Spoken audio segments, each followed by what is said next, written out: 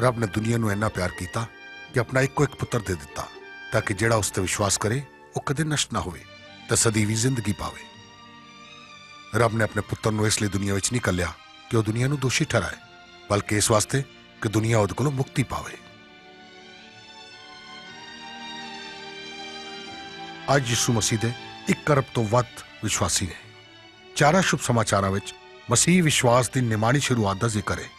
ਜਦੋਂ ਕਿ ਦੂਜੇ ਸ਼ੁਭ ਸਮਾਚਾਰ ਦੂਜੀਆਂ ਘਟਨਾਵਾਂ ਦਾ ਜ਼ਿਕਰ ਕਰਦੇ ਨੇ ਜਾਂ ਉਹਨਾਂ ਘਟਨਾਵਾਂ ਦਾ ਵੱਖ-ਵੱਖ ਤਰੀਕੇ ਨਾਲ ਜ਼ਿਕਰ ਕਰਦੇ ਨੇ, ਇਹ ਸੱਚਾਈ ਪ੍ਰਭੂ ਯਿਸੂ ਮਸੀਹ ਦੇ ਜੀਵਨ ਬਾਰੇ ਸੰਤ ਲੂਕਾ ਦੇ ਸ਼ੁਭ ਸਮਾਚਾਰ ਵਿੱਚੋਂ ਲਈ ਗਈ ਹੈ।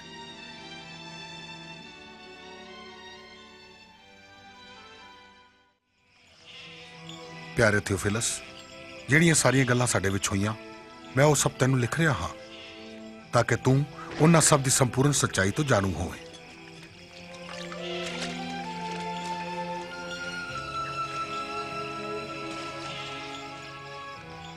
ਜਿਨ੍ਹਾਂ ਦਿਨਾਂ ਵਿੱਚ ਅਗਸਤਸ ਕੈਸਰ ਰੋਮ ਦਾ ਸ਼ਹਿਨशाह ਸੀ ਤੇ ਹੈਰੋਦਿਸ ਮਹਾਨ ਯਹੂਦੀਆ ਦਾ ਬਾਦਸ਼ਾਹ ਸੀ, ਰੱਬ ਨੇ ਨਾਸਤ ਕਸਬੇ ਦੀ ਇੱਕ ਕੁਆਰੀ ਕੋਲ ਜਬਰਾਇਲ ਨਾਂ ਦਾ ਫਰਿਸ਼ਤਾ ਕੱਲਿਆ।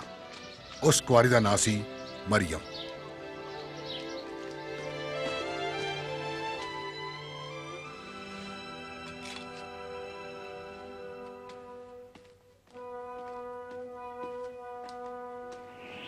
ਐ ਮਰੀਮ ਤੂੰ ਡਰ ਨਾ। ਕਿਉਂਕਿ ਤੇਰੇ ਤੇ ਰੱਬ ਦੀ ਮਿਹਰ ਹੋਈ ਏ ਤੂੰ ਗਰਭਵਤੀ ਹੋਵੇਂਗੀ ਤੇ ਇੱਕ ਪੁੱਤ ਜਣੇਗੀ ਤੇ ਉਸ ਦਾ ਨਾਂ ਯਸੂ ਰੱਖੀ। ਇਹ ਕਿਵੇਂ ਹੋ ਸਕਦਾ ਹੈ? ਮੈਂ ਕੁਆਰੀ ਹਾਂ। ਪਾਕ ਰੂ ਤੇਰੇ ਉੱਤੇ ਉਤਰੇਗਾ। ਐਸ ਲਈ ਉਹ ਪਾਕ ਬੱਚਾ ਪਰਮ ਪ੍ਰਧਾਨ ਰੱਬ ਦਾ ਪੁੱਤ ਖਵਾਏਗਾ। ਉਹਦੇ ਰਾਜ ਦਾ ਅੰਤ ਨਾ ਹੋਵੇਗਾ। ਤੇ ਫਿਰ ਮਰੀਮ ਆਪਣੀ ਚਚੇਰੀ ਭੈਣ ਐਲਸ਼ੇਬਾ ਨੂੰ ਮਿਲਣ ਯਹੂਦੀਆ ਦੇ ਕਸਬੇ 'ਚ ਗਈ। ਉਹ ਵੀ ਅਨੋਖੀ ਤਰ੍ਹਾਂ ਨਾਲ ਗਰਭਵਤੀ ਸੀ। ਅਲਿਸ਼ਬਾ ਮਰੀਮ ਭੈਣ ਮਰੀਮ ਤੂੰ ਸਾਰੀ ਔਰਤਾਂ ਵਿੱਚੋਂ ਸਭ ਤੋਂ ਤਨ ਹੈ ਤੇ ਤੇਰੇ ਪੇਟ ਦਾ ਫਲ ਵੀ ਧਨ ਹੈ ਕਿਉਂਕਿ ਜਿਵੇਂ ਹੀ ਮੈਂ ਤੇਰਾ ਸਲਾਮ ਸੁਣਿਆ ਖੁਸ਼ੀ ਨਾਲ ਬੱਚਾ ਮੇਰੇ ਪੇਟ ਵਿੱਚ ਉਛਲ ਪਿਆ ਮੇਰੀ ਜਾਨ ਪ੍ਰਭੂ ਦੀ ਵਡਿਆਈ ਕਰਦੀ ਏ ਤੇ ਮੇਰੀ ਆਤਮਾ ਮੇਰੇ ਮੁਕਤੀਦਾਤਾ ਪਰਮੇਸ਼ਵਰ ਤੋਂ ਖੁਸ਼ ਹੈ ਹੁਣ ਤੋਂ ਸਾਰੀਆਂ ਕੌਮਾਂ ਮੈਨੂੰ ਤਾਨ ਆਖਣਗੀਆਂ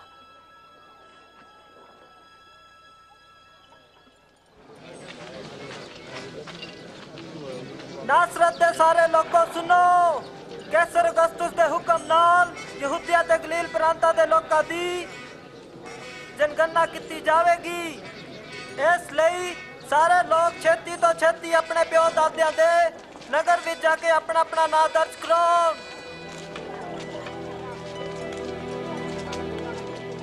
ਤੇ ਮਰੀਮ ਆਪਣੇ ਬੰਗੇਤਰ ਯੂਸਫ ਨਾਲ ਯਹੂਦੀਆ ਦੇ ਕਸਬੇ ਬੈਤਲਮ ਵਿੱਚ ਨਾਂ ਲਿਖਾਉਣ ਵਾਸਤੇ ਗਈ ਪਰ ਉਹਨਾਂ ਨੂੰ ਉੱਥੇ ਠਹਿਰਨ ਵਾਸਤੇ ਕੋਈ ਥਾਂ ਨਾ ਮਿਲੀ।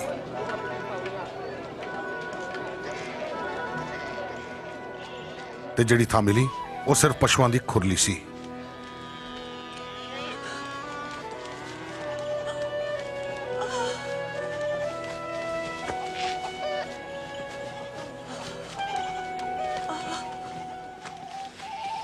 ਮੁਲਕ ਦੇ ਉਸ ਇਲਾਕੇ ਵਿੱਚ ਕੁਝ ਚਰਵਾਏ ਰਾਤ ਦੇ ਵੇਲੇ ਆਪਣੀ ਭੇਡਾਂ ਦੀ ਰਖਵਾਲੀ ਕਰ ਰਹੇ ਸਨ ਕਿ ਅਚਾਨਕ ਰੱਬ ਦਾ ਫਰਿਸ਼ਤਾ ਉਹਨਾਂ ਕੋਲ ਆਣ ਖਲੋਤਾ ਤੇ ਇਸ ਦੇ ਨਾਲ ਹੀ ਰੱਬ ਦੀ ਮਹਿਮਾ ਦੀ ਰੋਸ਼ਨੀ ਉਹਨਾਂ ਦੇ ਗਿਰਦ ਚਮਕੀ।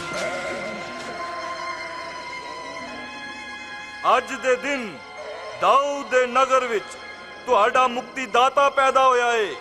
ਉਹੋ ਹੀ ਪ੍ਰਭੂ ਮਸੀਹ ਏ।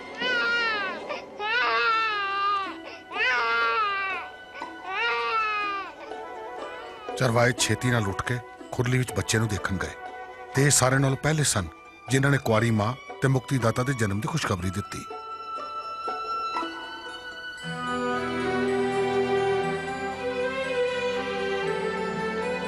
ਇੱਕ ਹਫ਼ਤੇ ਬਾਅਦ ਜਦੋਂ ਬੱਚੇ ਦੇ ਖਤਨਾ ਕਰਨ ਦਾ ਸਮਾਂ ਆਇਆ ਤਾਂ ਉਸ ਦਾ ਨਾਂ ਯੀਸ਼ੂ ਰੱਖਿਆ ਗਿਆ। ਯੂਸਫ ਤੇ ਮਰੀਮ ਉਸ ਨੂੰ ਯਰੂਸ਼ਲਮ ਲੈ ਗਏ ਤਾਂ ਕਿ ਉਸ ਨੂੰ ਰੱਬ ਦੇ ਸਾਹਮਣੇ ਹਾਜ਼ਰ ਕਰਨ। ਮੰਦਰ ਵਿੱਚ ਇੱਕ ਧਰਮੀ ਤੇ ਨੇਕ ਮਨੁੱਖ ਸੀ, ਜਿਹਦੇ ਨਾਲ ਪਵਿੱਤਰ ਆਤਮਾ ਦਾ ਵਾਅਦਾ ਸੀ ਕਿ ਜਦੋਂ ਤੱਕ ਉਹ ਮਸੀਹ ਨੂੰ ਨਹੀਂ ਦੇਖ ਲੈਂਦਾ, ਉਹ ਨਹੀਂ ਮਰੇਗਾ। ਤੇ ਉਸ ਦਾ ਨਾਂ ਸੀ ਸ਼ਮਾਉਨ ਪ੍ਰਭੂ, ਹੁਣ ਤੂੰ ਆਪਣੇ ਦਾਸ ਨੂੰ ਆਪਣੇ ਵਚਨ ਅਨੁਸਾਰ ਸ਼ਾਂਤੀ ਨਾਲ ਚੁੱਕ ਲੈ।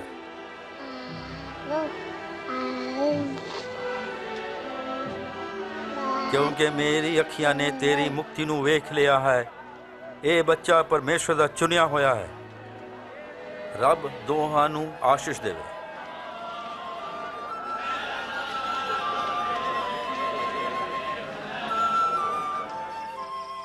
ਤੇ ਜਦੋਂ ਉਹਨਾਂ ਨੇ ਮੂਸਾ ਦੀ ਸ਼ਰੀਅਤ ਦੇ ਮੁਤਾਬਕ ਸਾਰੇ ਰੀਤੀ ਰਿਵਾਜ ਤੇ ਕਾਨੂੰਨ ਪੂਰੇ ਕਰ ਲਏ, ਤਾਂ ਯਰੂਸ਼ਲਮ ਤੋਂ ਨਾਸਰਤ ਵਿੱਚ ਆ ਗਏ।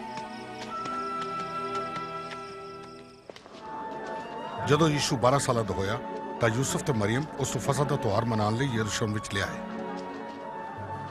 ਜਦੋਂ ਇਹ ਸੋਚ ਕੇ ਘਰ ਗਏ ਕਿ ਯੀਸ਼ੂ ਉਹਨਾਂ ਦੇ ਨਾਲ ਹੈ, ਪਰ ਯੀਸ਼ੂ ਤਾਂ ਉੱਥੇ ਹੀ ਰਹਿ ਗਿਆ।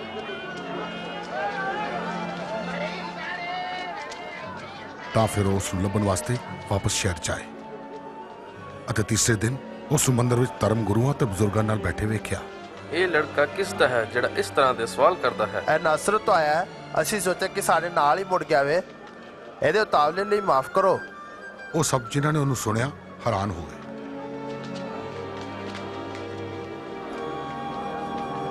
ਪੁੱਤਰ ਤੂੰ ਸਾਡੇ ਨਾਲ ਇੰਜ ਕਿਉਂ ਕੀਤਾ? ਵੇਖ ਤੇਰੇ ਪਿਤਾ ਤੇ ਮੈਂ ਤੈਨੂੰ ਲੱਭਣ ਲਈ ਕਿੰਨੇ ਖੱਜਲ ਖੁਆਰ ਹੋਏ। ਤੁਸੀਂ ਮੈਨੂੰ ਕਿਉਂ ਲੱਭ ਰਹੇ ਸੀ? ਕਿ ਤੁਹਾਨੂੰ ਨਹੀਂ ਪਤਾ ਕਿ ਮੈਨੂੰ ਆਪਣੇ ਬਾਪ ਦੇ ਕੰਮ ਵਿੱਚ ਲੱਗੇ ਰਹਿਣਾ ਚਾਹੀਦਾ ਹੈ। ਤੇ ਉਹ ਆਪਣੇ ਮਾਤਾ-ਪਿਤਾ ਨਾਲ ਨਾਸਰਤ ਆ ਗਿਆ। ਯੀਸ਼ੂ ਸ਼ਰੀਰ ਅਤੇ ਗਿਆਨ ਵਿੱਚ ਵੱਧਦਾ ਗਿਆ। ਉਹ ਰੱਬ ਤੇ ਮਨੁੱਖਾਂ ਦੀ ਕਿਰਪਾ ਵਿੱਚ ਵੀ ਵੱਧਦਾ ਗਿਆ।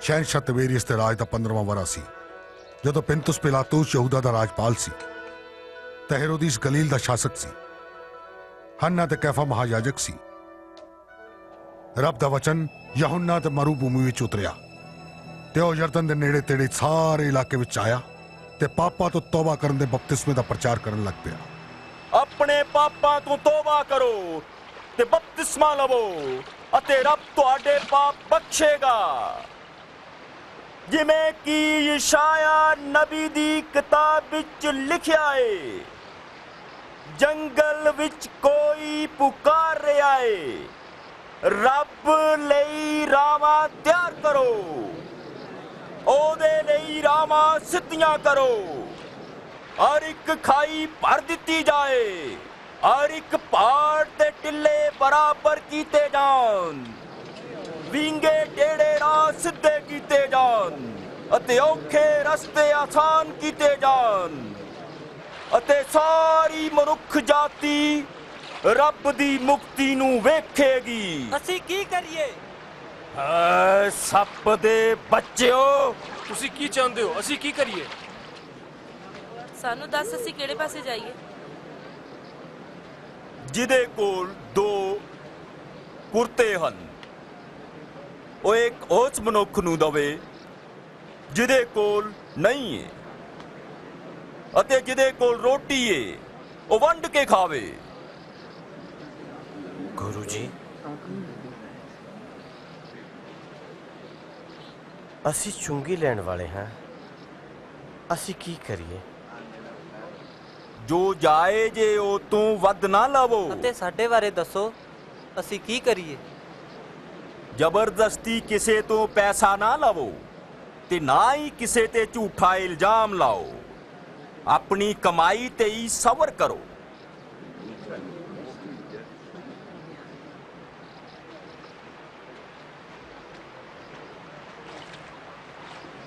ਸਾਨੂੰ ਦੱਸ ਕਿ ਤੂੰ ਮਸੀਹ ਹੈ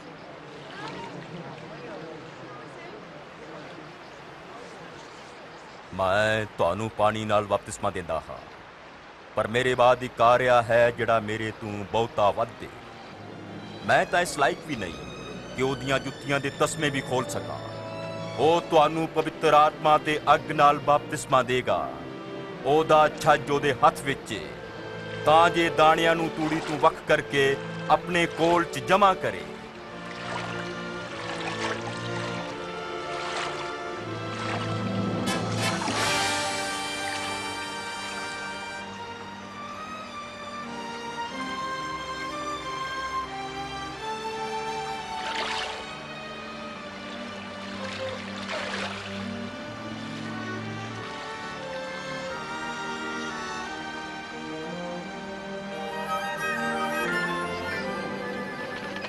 ਪਵਿੱਤਰ ਆਤਮਾ ਗੋਗੀ ਦੇ ਰੂਪ ਵਿੱਚ ਯੀਸ਼ੂ ਤੇ ਉਤਰਿਆ।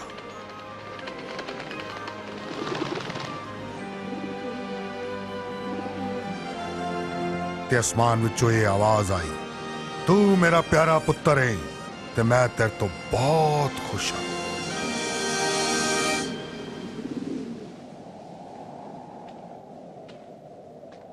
ਜਦੋਂ ਯੀਸ਼ੂ ਨੇ ਆਪਣੀ ਸੇਵਾ ਸ਼ੁਰੂ ਕੀਤੀ, ਤਾਂ ਉਸ ਵੇਲੇ ਉਹ ਲਗਭਗ 30 ਵਰਿਆਂ ਦਾ ਸੀ। ਉਹ ਪਵਿੱਤਰ ਆਤਮਾ ਨਾਲ ਭਰਿਆ ਹੋਇਆ ਯਰਦਨ ਤੋਂ ਵਾਪਸ ਆਇਆ, ਤਾਂ ਆਤਮਾ ਉਸ ਜੰਗਲ ਵਿੱਚ ਲੈ ਗਿਆ, ਜਿੱਥੇ ਸ਼ੈਤਾਨ ਨੇ 40 ਦਿਨ ਤੱਕ ਉਸ ਨੂੰ ਪਰਖਿਆ ਅਤੇ ਇਹਨਾਂ ਦਿਨਾਂ ਵਿੱਚ ਉਸਨੇ ਕੁਝ ਨਹੀਂ ਖਾਧਾ।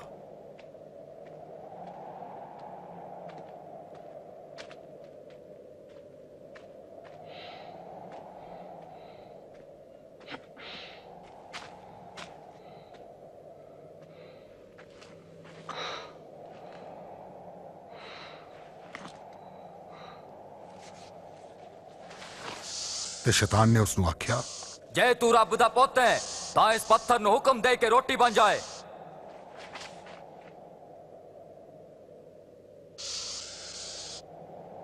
ਇਹ ਲਿਖਿਆ ਹੈ ਮਨੁੱਖ ਨਿਰੀ ਰੋਟੀ ਨਾਲ ਹੀ ਨਹੀਂ ਪਰ ਰੱਬ ਦੇ ਹਰ ਇੱਕ ਵਚਨ ਨਾਲ ਜਿਉਂਦਾ ਰਹੇਗਾ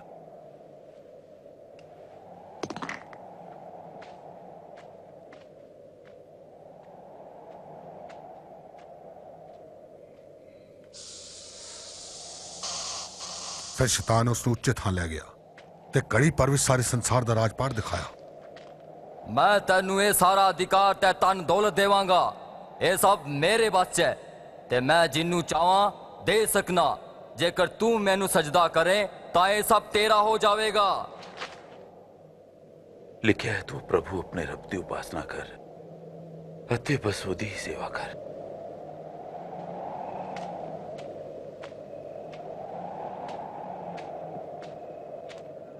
ਫਿਰ ਸ਼ੈਤਾਨ ਯੀਸ਼ੂ ਨੂੰ ਯਰੂਸ਼ਲਮ ਲੈ ਗਿਆ ਤੇ ਮੰਦਰ ਦੇ ਸਿਖਰ ਉੱਤੇ ਖੜਾ ਕਰ ਦਿੱਤਾ। ਜੇ ਤੂੰ ਰੱਬ ਦਾ ਪੁੱਤ ਹੈ ਤਾਂ ਆਪਣੇ ਆਪ ਨੂੰ ਇਥੋਂ ਥੱਲੇ ਸੁੱਟ ਕਿਉਂਕਿ ਧਰਮ ਸ਼ਾਸਤਰ 'ਚ ਲਿਖਿਆ ਹੈ ਕਿ ਰੱਬ ਆਪਣੇ ਫਰਿਸ਼ਤਿਆਂ ਨੂੰ ਤੇਰੀ ਹਿਫਾਜ਼ਤ ਕਰਨ ਦਾ ਹੁਕਮ ਦੇਗਾ ਤੇ ਉਹ ਤੈਨੂੰ ਆਪਣੇ ਹੱਥਾਂ ਤੇ ਚੁੱਕ ਲੈਣਗੇ ਤਾਂ ਜੇ ਤੇਰੇ ਪੈਰਾਂ ਨੂੰ ਪੱਥਰ ਨਾਲ ਠੇਸ ਨਾ ਲੱਗੇ। ਧਰਮ ਸ਼ਾਸਤਰ ਕਹਿੰਦਾ ਹੈ ਤੂੰ ਆਪਣੇ ਪ੍ਰਭੂ ਰੱਬ ਦੀ ਪ੍ਰੀਖਿਆ ਨਾ ਲੈ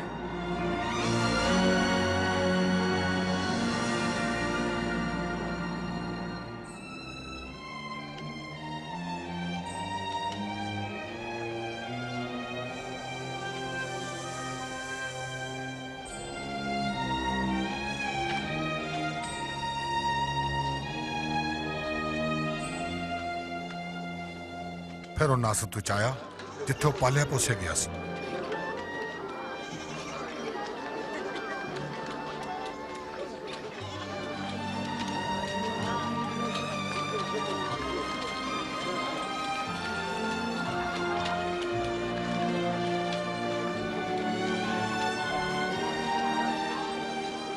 ਕੀ ਹਾਲ ਹੈ? ਠੀਕ ਹੈ।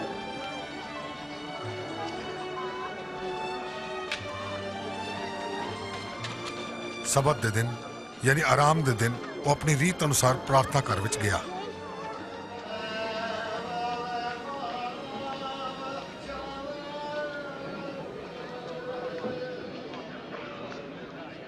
ਉਸ ਨੂੰ ਯਸ਼ਾਇਆ ਨਬੀ ਦੀ ਕਿਤਾਬ ਵਿੱਚੋਂ ਇੱਕ ਹਿੱਸਾ ਪੜ੍ਹਨ ਵਾਸਤੇ ਬੁਲਾਇਆ ਗਿਆ।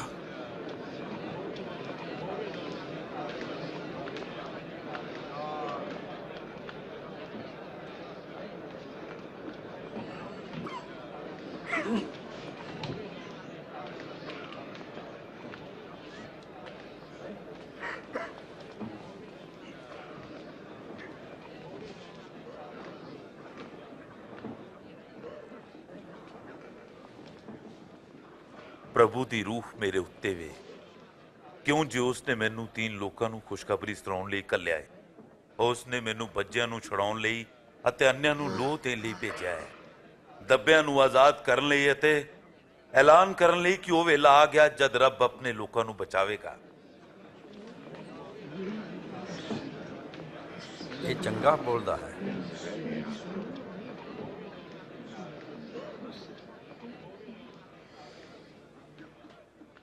ਧਰਮ ਸ਼ਾਸਤਰ ਦਾ ਇਹ ਲੇਖ ਅੱਜ ਪੂਰਾ ਹੋਇਆ। ਜਦੋਂ ਤੁਸੀਂ ਇਹ ਪੜ੍ਹਦਿਆਂ ਸੁਣਿਆ। ਧਰਮ ਸ਼ਾਸਤਰ ਦਾ ਲੇਖ ਪੂਰਾ ਪਰ ਉਹ ਵਾਦਾ ਤਾਂ ਮਸੀਹ ਹੀ ਪੂਰਾ ਕਰ ਸਕਦਾ ਹੈ। ਸਾਨੂੰ ਕਿੱਦਾਂ ਪਤਾ ਲੱਗੇਗਾ? ਬੇਸ਼ੱਕ ਤੁਸੀਂ ਮੈਨੂੰ ਇਹ ਕਹਾਵਤ ਕਹੋਗੇ ਉਹ ਹਕੀਮਾ ਆਪਣਾ ਇਲਾਜ ਕਰ। ਤੁਸੀਂ ਇਹ ਵੀ ਕਹੋਗੇ ਆਪਣੇ ਵਤਨ ਵਿੱਚ ਉਹੀ ਕੰਮ ਕਰ ਜਿਹੜੇ ਤੂੰ ਕਫਰਨਾਹੁਮ ਵਿੱਚ ਕੀਤੇ। ਮੈਂ ਦੱਸਦਾ ਹਾਂ ਤੁਹਾਨੂੰ ਕੋਈ ਵੀ ਨਬੀ ਆਪਣੇ ਵਤਨ ਵਿੱਚ ਕਦੀ ਮਾਨ ਨਹੀਂ ਪਾਉਂਦਾ। ਇਹਨਾਂ ਗੱਲਾਂ ਨਾਲ ਯਿਸੂ ਨੇ ਆਪਣੇ ਆਪ ਨੂੰ ਮਸੀਹ ਸਾਬਤ ਕੀਤਾ। ਜਿਹੜਾ ਰੱਬ ਦਾ ਬਸਾ ਕੀਤਾ ਹੋਇਆ ਆਪਣੇ ਲੋਕਾਂ ਨੂੰ ਬਚਾਉਣ ਵਾਸਤੇ ਭੇਜਿਆ ਗਿਆ ਪਰ ਇਹਨਾਂ ਯਹੂਦੀਆਂ ਨੇ ਉਸ ਨੂੰ ਮਸੀਹ ਕਬੂਲ ਨਾ ਕੀਤਾ ਉਹ ਉਸ ਨੂੰ ਪਹਾੜ ਤੋਂ ਹੇਠਾਂ ਸੁੱਟਣਾ ਚਾਹੁੰਦੇ ਸੀ ਪਰ ਉਹ ਉਹਨਾਂ ਦੀ ਭੀੜ ਚੋਂ ਨਿਕਲ ਕੇ ਆਪਣੇ ਰਾਹ ਤੇ ਚਲਾ ਗਿਆ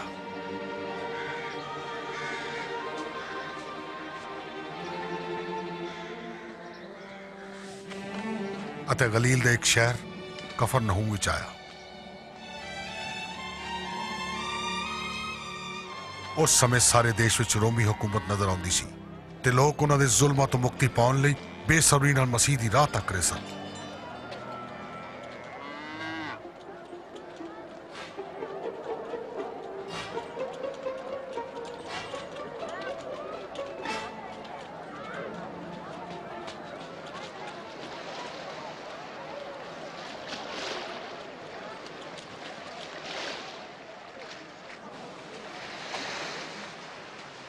ਤੁਹਾਨੂੰ ਸ਼ਾਂਤੀ ਮਿਲੇ। ਤੈਨੂੰ ਵੀ ਗੁਰੂ। ਤੇਰੀ ਕਿਸ਼ਤੀ ਵਿੱਚ ਆ ਜਾਵਾਂ ਸ਼ਮਾਉਨ ਕਿਉਂ ਨਹੀਂ? ਕੀ ਉਹ ਸਾਨੂੰ ਛੱਡ ਕੇ ਤੇ ਨਹੀਂ ਜਾ ਰਿਹਾ? ਸਾਡੇ ਨਾਲ ਗੱਲ ਕਰੋ ਗੱਲ ਕਰੋ। ਸਾਡੇ ਨਾਲ ਗੱਲ ਕਰੋ। ਯਿਸੂ ਸਾਡੇ ਨਾਲ ਗੱਲ ਕਰੋ।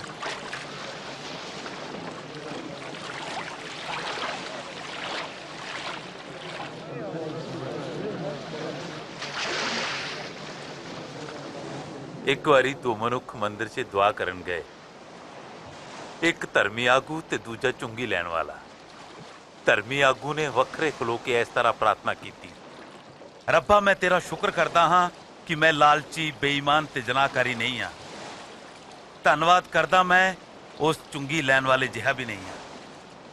ਮੈਂ ਹਫ਼ਤੇ 'ਚ ਦੋ ਵਾਰੀ ਵਰਤ ਰੱਖਦਾ ਤੇ ਆਪਣੀ ਕਮਾਈ ਦਾ ਦਸਵਾਂ ਹਿੱਸਾ ਦਿੰਦਾ ਪਰ ਚੁੰਗੀ ਲੈਣ ਵਾਲੇ ਨੇ ਦੂਰ ਖਲੋ ਕੇ ਅਸਮਾਨ ਵੱਲ ਅੱਖਾਂ ਮਿਨਾ ਚੁੱਕੀਆਂ, ਪਰ ਆਪਣੀ ਹਿੱਕ ਪਿੱਟ ਪਿੱਟ ਕੇ ਕਿਹਾ, ਰੱਬਾ, ਮੈਂ ਪਾਪੀ ਹਾਂ, ਮੇਰੇ ਤੇ ਰਹਿਮ ਕਰ। ਮੈਂ ਕਹਿਣਾ ਵਾਂ, ਧਰਮੀ ਆਗੂ ਨਹੀਂ, ਪਰ ਚੁੰਗੀ ਲੈਣ ਵਾਲਾ ਰੱਬ ਦੀ ਅਸੀਸ ਪਾ ਕੇ ਘਰ ਗਿਆ। ਜਿਹੜਾ ਆਪਣੇ ਆਪ ਨੂੰ ਉੱਚਾ ਸਮਝੇਗਾ, ਉਹ ਨੀਵਾ ਕੀਤਾ ਜਾਏਗਾ। ਤੇ ਜੋ ਨੀਵਾ ਸਮਝੇਗਾ, ਉਹ ਉੱਚਾ ਕੀਤਾ ਜਾਏਗਾ। ਆਪਣੀ ਕਿਸ਼ਤੀ ਨੂੰ ਡੂੰਘੇ ਪਾਣੀ 'ਚ ਲੈ ਚੱਲ। ਫਿਰ ਤੂੰ ਤੇ ਤੇਰੇ ਸਾਥੀ ਮੱਛੀਆਂ ਫੜਨ ਲਈ ਜਾਲ ਪਾਈਓ ਗੁਰੂ ਜੀ ਸਾਰੀ ਰਾਤ ਬਹੁਤ ਮਿਹਨਤ ਕੀਤੀ ਹੈ ਪਰ ਕੁਝ ਵੀ ਨਹੀਂ ਆਇਆ ਜੇ ਤੁਸੀਂ ਕਹਿੰਦੇ ਹੋ ਮੈਂ ਫੇਰ ਜਾਲ ਸੁੱਟਦਾ ਯਾਕੂਬ ਯਹੂਨਾ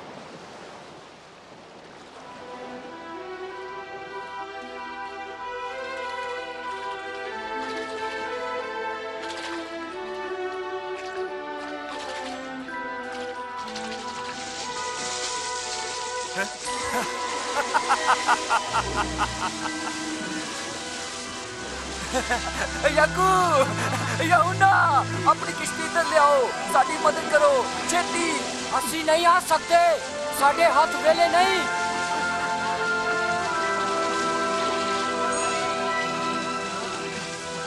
ਇਹ ਬਥੇਰੀਆਂ ਨੇ ਬਸ ਬਹੁਤ ਨੇ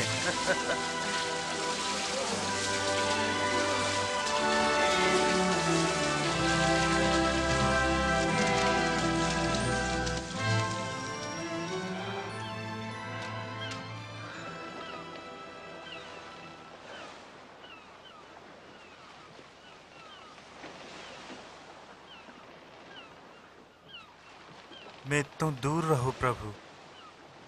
ਮੈਂ ਤਾਂ ਪਾਪੀ ਮਨੁੱਖ ਹਾਂ। ਤੁਸੀਂ ਡਰੋ ਨਾ। ਤੁਸੀਂ ਹੁਣ ਤੋਂ ਮਨੁੱਖਾਂ ਨੂੰ ਮੇਰੇ ਕੋਲ ਲਿਆਓਗੇ।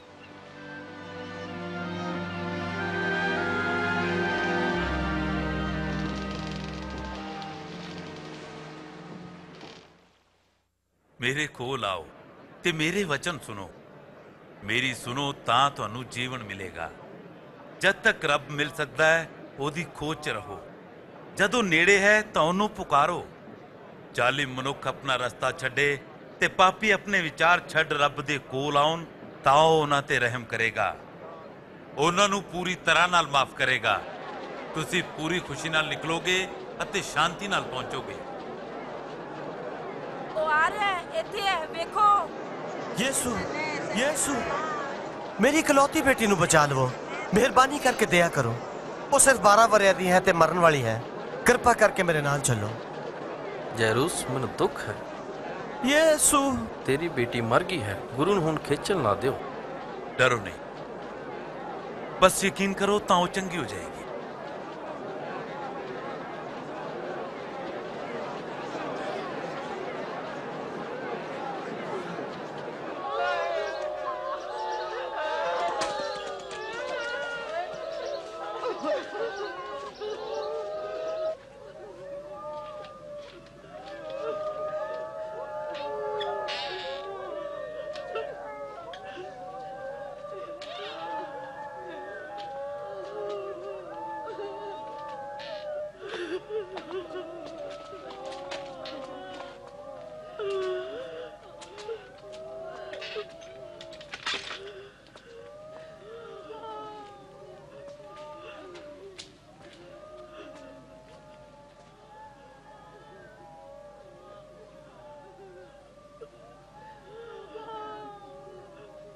ਤੁਸੀਂ ਰੋਵੋ ਨਹੀਂ ਇਹ ਮੋਈ ਨਹੀਂ ਸਿਰਫ ਸੁੱਤੀ ਪਈ ਹੈ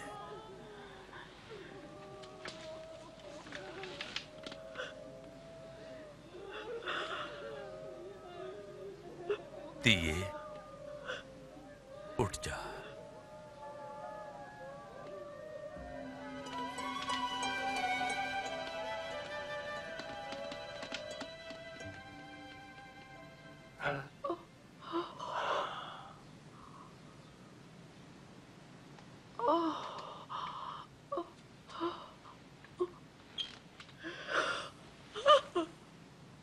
ਕੁਝ ਖਾਣ ਨੂੰ ਦਿਓ।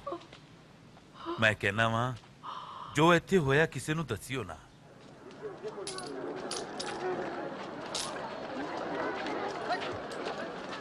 ਇਸ ਤੋਂ ਬਾਅਦ ਉਸਨੇ ਮਤੀ ਲੇਵੀ ਨਾਂ ਦੇ ਇੱਕ ਚੁੰਗੀ ਲੈਣ ਵਾਲੇ ਨੂੰ ਚੁੰਗੀ ਦਰਵਾਜ਼ੇ ਤੇ ਬੈਠੇ ਦੇਖਿਆ।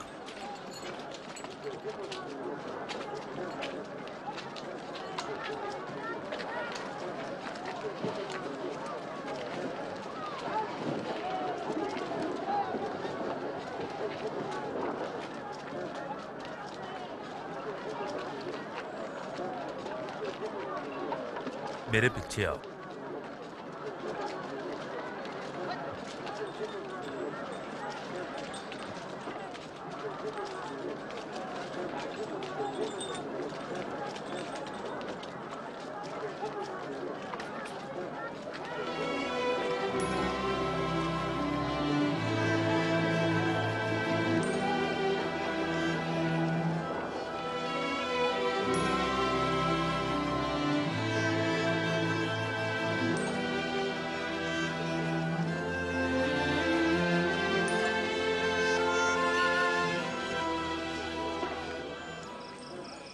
ਫਿਰ ਯਿਸੂ ਪਹਾੜ ਉੱਤੇ ਦੁਆ ਕਰਨ ਵਾਸਤੇ ਗਿਆ ਅਤੇ ਸਾਰੀ ਰਾਤ ਰੱਬ ਤੋਂ ਦੁਆ ਕਰਨ ਵਿੱਚ ਗੁਜ਼ਾਰੀ।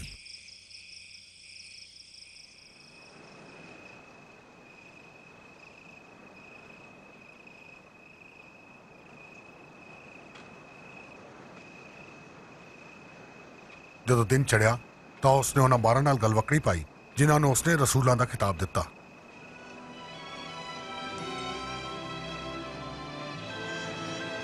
ਸ਼ਮਾਉਨ ਜਿਸ ਦਾ ਨਾਮ ਉਸਨੇ ਪਤਰਸ ਵੀ ਰੱਖਿਆ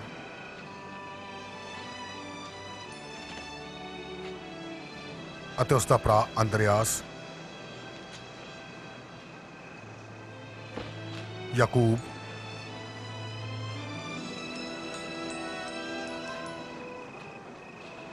ਯਹੋਨਾ ਫਿਲਿਪੁਸ ਬਰਥਲਮਈ ਮਤੀ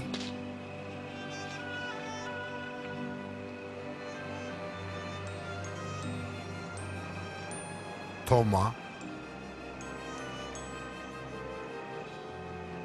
ਹਲਫਾਈ ਦਾ ਪੁੱਤਰ ਯਾਕੂਬ ਸ਼ਮਾਉਨ ਜੋ ਜਲੋ ਤੇਜ਼ ਸਖਵਾਉਂਦਾ ਸੀ ਅਤੇ ਯਾਕੂਬ ਦਾ ਭਰਾ ਯਹੂਦਾ ਅਤੇ ਯਹੂਦਾ ਇਸਕਰਿਓਤੀ ਜਿਹੜਾ ਧੋਖੇਬਾਜ਼ ਸੀ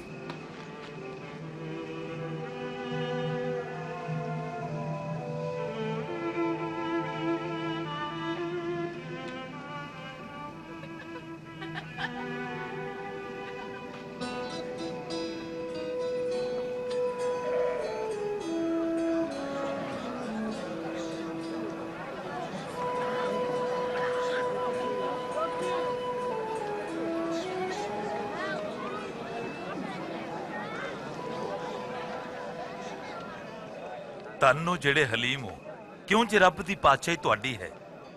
ਤਨੋ ਜਿਹੜੇ ਭੁੱਖੇ ਹੋ, ਤੁਸੀਂ ਰੱਜੋਗੇ। ਤਨੋ ਜਿਹੜੇ ਰੋਂਦੇ ਹੋ, ਤੁਸੀਂ ਹੱਸੋਗੇ। ਤਨੋ ਜਦੋਂ ਮਨੁੱਖ ਤੁਹਾਨੂੰ ਨਫ਼ਰਤ ਕਰਨ, ਨਕਾਰਨ ਤੇ ਬੇਇੱਜ਼ਤ ਕਰਨ ਤੇ ਮਨੁੱਖ ਦੇ ਪੁੱਤ ਲਈ ਭੈੜੀਆਂ ਗੱਲਾਂ ਕਹਿਣ, ਜਦੋਂ ਇਹ ਸਭ ਹੋਵੇ, ਤਾਂ ਖੁਸ਼ੀ ਨਾਲ ਝੁੰਮਿਓ। ਕਿਉਂ ਜੇ ਰੱਬ ਦੀ ਪਾਤਸ਼ਾਹੀ 'ਚ ਤੁਹਾਡਾ ਵੱਡਾ ਇਨਾਮ ਹੈ ਉਹਨਾਂ ਦੇ ਪੁਰਖਾਂ ਨੇ ਵੀ ਤੇ ਨਬੀਆਂ ਨਾਲ ਇਹੋ ਕੁਝ ਕੀਤਾ ਸੀ।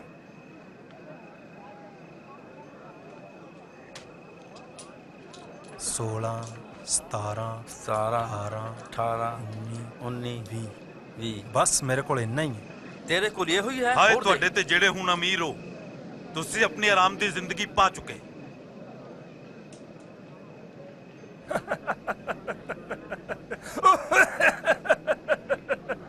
ਉਹ ਅਮੀਰ ਨਹੀਂ ਹੋਣਾ ਚਾਹੁੰਦਾ ਉਹ ਜ਼ਰੂਰ ਪਾਗਲ ਹੋਣਾ ਹੈ। ਹਾਏ ਤੁਹਾਡੇ ਤੇ ਜਿਹੜੇ ਹੁਣ ਹੱਸਦੇ ਹੋ ਤੁਸੀਂ ਢਾਵਾਂ ਮਾਰ ਰੋਵੋਗੇ। ਹਾਏ, ਤੁਹਾਡੇ ਤੇ ਜਦੋਂ ਸਾਰੇ ਮਨੁੱਖ ਤੁਹਾਨੂੰ ਚੰਗਾ ਕਹਿਣ, ਕਿਉਂ ਜੇ ਉਹਨਾਂ ਦੇ ਪੁਰਖਾਂ ਨੇ ਵੀ ਝੂਠੇ ਨਬੀਆਂ ਲਈ ਇਹੋ ਕਿਹਾ ਸੀ? ਪਰ ਮੈਂ ਤੁਹਾਨੂੰ ਸੁਣਨ ਵਾਲਿਆਂ ਨੂੰ ਕਹਿਣਾ, ਦੁਸ਼ਮਣ ਨਾਲ ਪਿਆਰ ਕਰੋ, ਬੁਰਾ ਕਰਨ ਵਾਲਿਆਂ ਨਾਲ ਭਲਾ ਕਰੋ। ਸ਼ਾਪ ਦੇਣ ਵਾਲੇ ਨੂੰ ਆਸ਼ੀਸ਼ ਦਿਓ। ਬੇਯਕੀਨੇ ਲਈ ਦੁਆ ਕਰੋ।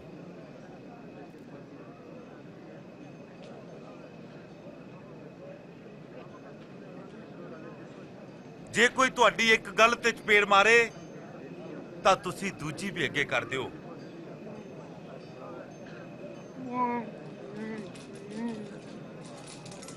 ਤੇ ਜੇ ਕੋਈ ਤੇਰਾ ਚੋਗਾ ਮੰਗੇ, ਤਾਂ ਤੂੰ ਉਹਨੂੰ ਆਪਣਾ ਕੁਰਤਾ ਵੀ ਦੇ ਦੇ। ਹਰ ਕੋਈ ਜੋ ਤੇਥੋਂ ਮੰਗੇ, ਉਹਨੂੰ ਦੇ ਦੇ। ਜੇ ਕੋਈ ਤੇਥੋਂ ਕੁਝ ਖੋ ਲਵੇ, ਤਾਂ ਉਸ ਤੋਂ ਵਾਪਸ ਨਾ ਮੰਗ।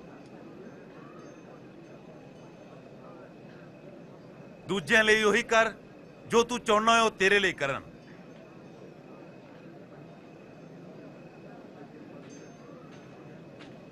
ਜੇ ਤੁਸੀਂ ਆਪਣੇ ਪਿਆਰ ਕਰਨ ਵਾਲਿਆਂ ਨਾਲ ਹੀ ਪਿਆਰ ਕਰਦੇ ਹੋ, ਤਾਂ ਤੁਹਾਨੂੰ ਅਸੀਸ ਕਿਵੇਂ ਮਿਲੇਗੀ? ਪਾਪੀ ਵੀ ਤਾਂ ਆਪਣੇ ਪਿਆਰਿਆਂ ਨਾਲ ਪਿਆਰ ਕਰਦੇ ਨੇ। ਜੇ ਤੁਸੀਂ ਉਹਨਾਂ ਦਾ ਹੀ ਭਲਾ ਕਰਦੇ ਹੋ, ਜਿਹੜੇ ਤੁਹਾਡਾ ਭਲਾ ਕਰਦੇ ਨੇ, ਤਾਂ ਤੁਹਾਨੂੰ ਅਸੀਸ ਕਿਵੇਂ ਮਿਲੇਗੀ? ਪਾਪੀ ਵੀ ਤਾਂ ਇੰਜ ਹੀ ਕਰਦੇ ਨੇ। ਉਹ ਕਿਵੇਂ ਉਸ ਨੂੰ ਛੂ ਸਕਦਾ ਹੈ ਉਹ ਉਹਦੇ ਨਾਲ ਕਿੰਜ ਬੋਲ ਸਕਦਾ ਹੈ ਸ਼- ਸ਼ਰਮਨਾਕ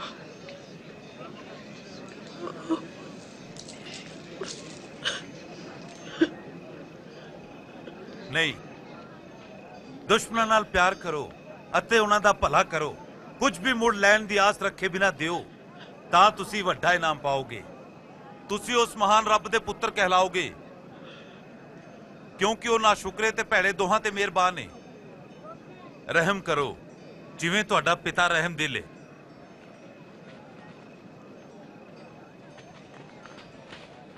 ਸਾਨੂੰ ਬਚਾ ਯੀਸੂ। ਤੋਮਤਾਂ ਨਾ ਲਾਓ ਤੁਹਾਡੇ ਤੇ ਵੀ ਤੋਮਤ ਨਾ ਆਏਗੀ। ਇਲਜ਼ਾਮ ਨਾ ਦਿਓ ਤੁਹਾਡੇ ਤੇ ਵੀ ਇਲਜ਼ਾਮ ਨਹੀਂ ਆਏਗਾ। ਬਖਸ਼ੋ ਅਤੇ ਤੁਸੀਂ ਵੀ ਬਖਸ਼ੇ ਜਾਓਗੇ। ਐ ਪ੍ਰਭੂ ਸਾਨੂੰ ਆਪਣੀ ਰਾਹ ਤੇ ਚਲਾ।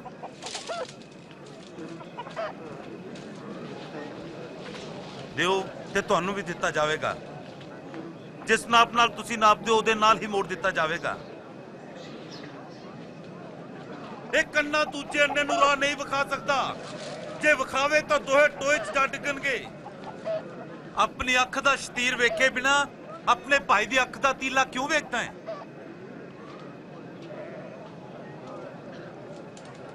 ਐ ਗੁਰੂ ਸਾਡੀ ਅਗਵਾਈ ਕਰ ਏ ਪ੍ਰਭੂ ਸਾਨੂੰ ਤੁਹਾਡੀ ਲੋੜ ਹੈ ਕਾਂਦੀ ਮਾਂ ਨੇ ਤੈਨੂੰ ਜੰਮਿਆ ਤੇ ਪਾਲਿਆ ਪਰ ਉਹ ਕਿੰਨੇ ਧਨ ਨੇ ਜਿਹੜੇ ਰੱਬ ਦੀ ਬਾਣੀ ਸੁਣਦੇ ਤੇ ਮੰਨਦੇ ਨੇ ਮੈਂ ਇਸ ਮਨੁੱਖ ਨੂੰ ਜਾਣਨਾ ਚਾਹੁੰਦਾ ਕੀ ਤੁਸੀਂ ਸੋਚਦੇ ਹੋ ਕਿ ਉਹ ਮਸੀਹ ਹੈ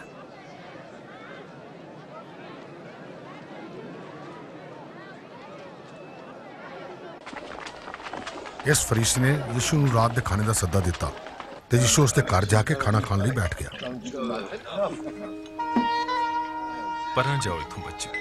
ਤੁਸੀਂ ਸੁਣਿਆ ਨਹੀਂ? ਜਾਓ ਇਥੋਂ। ਇਹ ਸਾਰੇ ਬਹੁਤ ਹੀ ਸ਼ਰਾਰਤੀ ਨੇ।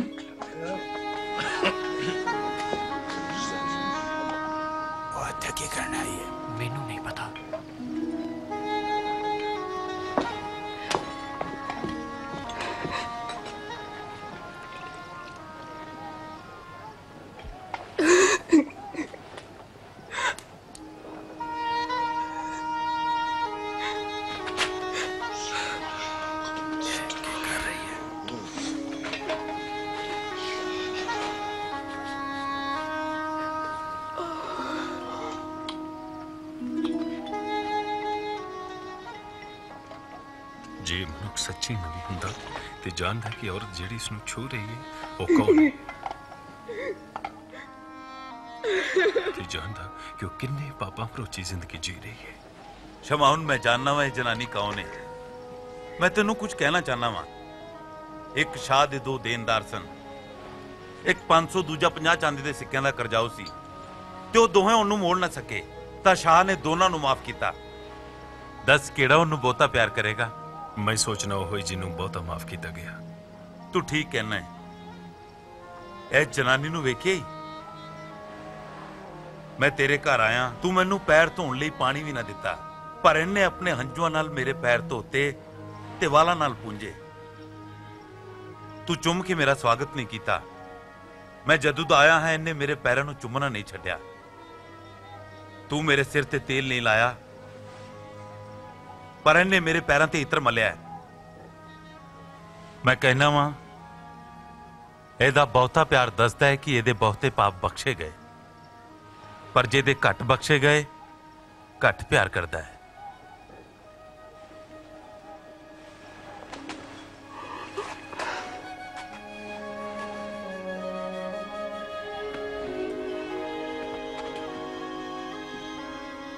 ਤੇਰੇ ਪਾਪ ਬਖਸ਼ੇ ਗਏ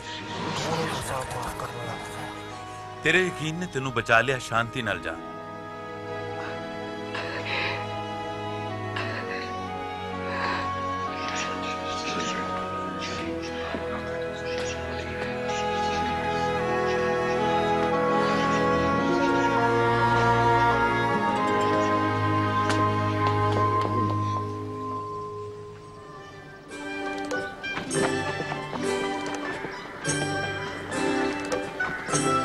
ਯੀਸ਼ੂ ਥਾਂ ਥਾਂ ਜਾ ਕੇ ਰੱਬ ਦੇ ਰਾਜ ਦਾ ਸ਼ੁਭ ਸਮਾਚਾਰ ਸੁਣਾਉਂਦੇ ਹੋਏ ਸਫ਼ਰ ਕਰਨ ਲੱਗਾ। ਉਸ ਦੇ ਨਾਲ ਉਸ ਦੇ 12 ਚੇਲੇ ਵੀ ਸਨ ਅਤੇ ਕੁਝ ਔਰਤਾਂ ਜਿਨ੍ਹਾਂ ਵਿੱਚੋਂ ਪ੍ਰੇਤ ਆਤਮਾ ਕੱਢੀਆਂ ਗਈਆਂ ਸਨ। ਮਰੀਮ ਜਿਸ ਨੂੰ ਮਗਦਲੀਨੀ ਕਹਿੰਦੇ ਸਨ। ਯੋਹਾਨਾ ਜਿਸ ਦਾ ਪਤੀ ਖੋਜਾ ਹੈਰੋਦੇਸ ਦੇ ਦਰਬਾਰ ਵਿੱਚ ਖਜ਼ਾਨਚੀ ਸੀ। ਤੇ ਸੋਸਨਾ।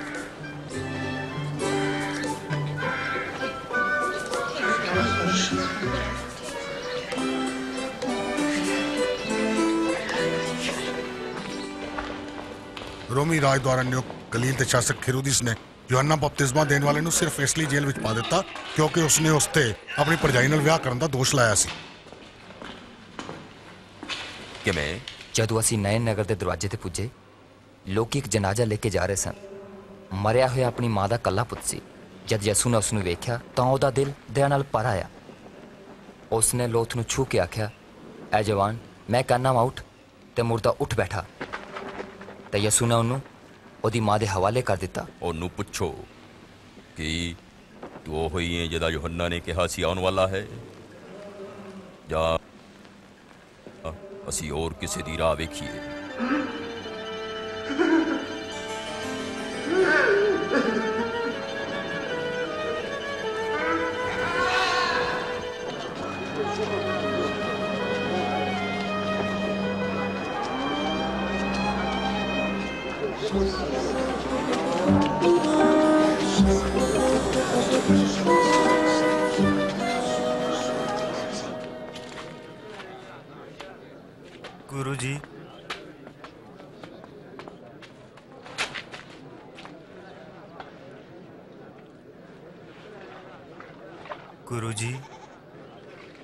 ਯਹੂਨਾ ਬਪਤਿਸਮਾ ਦੇਣ ਵਾਲੇ ਨੇ ਪੁੱਛਣ ਲਈ ਭੇਜਿਆ ਹੈ ਕਿ ਉਹ ਆਉਣ ਵਾਲਾ ਤੂੰ ਹੀ ਹੈ ਜਾਂ ਅਸੀਂ ਕਿਸੇ ਹੋਰ ਦੀ ਉਡੀਕ ਕਰੀਏ।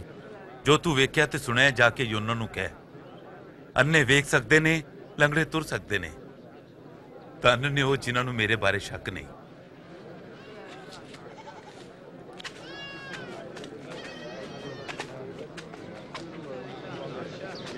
ਪਿਤਾ ਜੀ ਮੈਨੂੰ ਉੱਤੇ ਚੁੱਕੋ। ਮੇਰੇ ਮੋਢਿਆਂ ਤੇ ਆ ਜਾ। ਕੀ ਤੂੰ ਵੇਖ ਸਕਣਾ ਹੈ? ਮੈਂ ਯਿਸੂ ਨੂੰ ਵੇਖ ਸਕਣਾ ਹੈ। ਇੱਕ ਬੀ ਬੀਜਣ ਵਾਲਾ ਬੀ ਬੀਜਣ ਗਿਆ। ਅਤੇ ਬੀਜਣ ਵੇਲੇ ਕੁਝ ਦਾਣੇ ਰਾਹ ਵਿੱਚ ਡਿੱਗੇ ਤੇ ਰੁਲ ਗਏ। ਉਹਨਾਂ ਨੂੰ ਪੰਛੀਆਂ ਨੇ ਚੁਗ ਲਿਆ। ਕੁਝ ਪਥਰੀਲੀ ਧਰਤੀ ਤੇ ਡਿੱਗੇ। ਅਤੇ ਉੱਕੇ ਤੇ ਸਹੀ ਪਰ ਪਾਣੀ ਨਾ ਮਿਲਣ ਦੀ ਵਜ੍ਹਾ ਨਾਲ ਸੁੱਕ ਗਏ। ਅਤੇ ਕੁਝ ਵੀ ਕੰਡਿਆਂ ਵਿੱਚ ਡਿੱਗੇ। ਤੇ ਝਾੜੀਆਂ ਨੇ ਨਾਲ ਵੱਧ ਕੇ ਉਹਨਾਂ ਨੂੰ ਦਬਾ ਲਿਆ ਅਤੇ ਕੁਝ ਚੰਗੀ ਧਰਤੀ 'ਚ ਡਿੱਗੇ ਤੇ ਬੂਟੇ ਬਣ ਕੇ ਉਹਨਾਂ ਨੇ ਫਲ ਦਿੱਤਾ।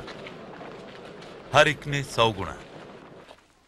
ਗੁਰੂ ਜੀ ਜਦ ਭੀੜ ਲਾਗੇ ਹੁੰਦੀ ਹੈ ਤਾਂ ਤੁਸੀਂ ਮਿਸਾਲਾਂ 'ਚ ਗੱਲਾਂ ਕਿਉਂ ਕਰਦੇ ਹੋ? ਰੱਬ ਦੀ ਪਾਤਸ਼ਾਹੀ ਦੇ ਭੇਤਾਂ ਦੀ ਜਾਣਕਾਰੀ ਤੁਹਾਨੂੰ ਦਿੱਤੀ ਗਈ ਹੈ ਪਰ ਦੂਜਿਆਂ ਨੂੰ ਉਹ ਮਿਸਾਲਾਂ 'ਚ ਸੁਣਾਇਆ ਜਾਂਦਾ ਹੈ ਤਾਂ ਜੋ ਵੇਖਦੇ ਹੋਏ ਨਾ ਵੇਖਣ ਅਤੇ ਸੁਣਦੇ ਹੋਏ ਨਾ ਸੁਣਨ।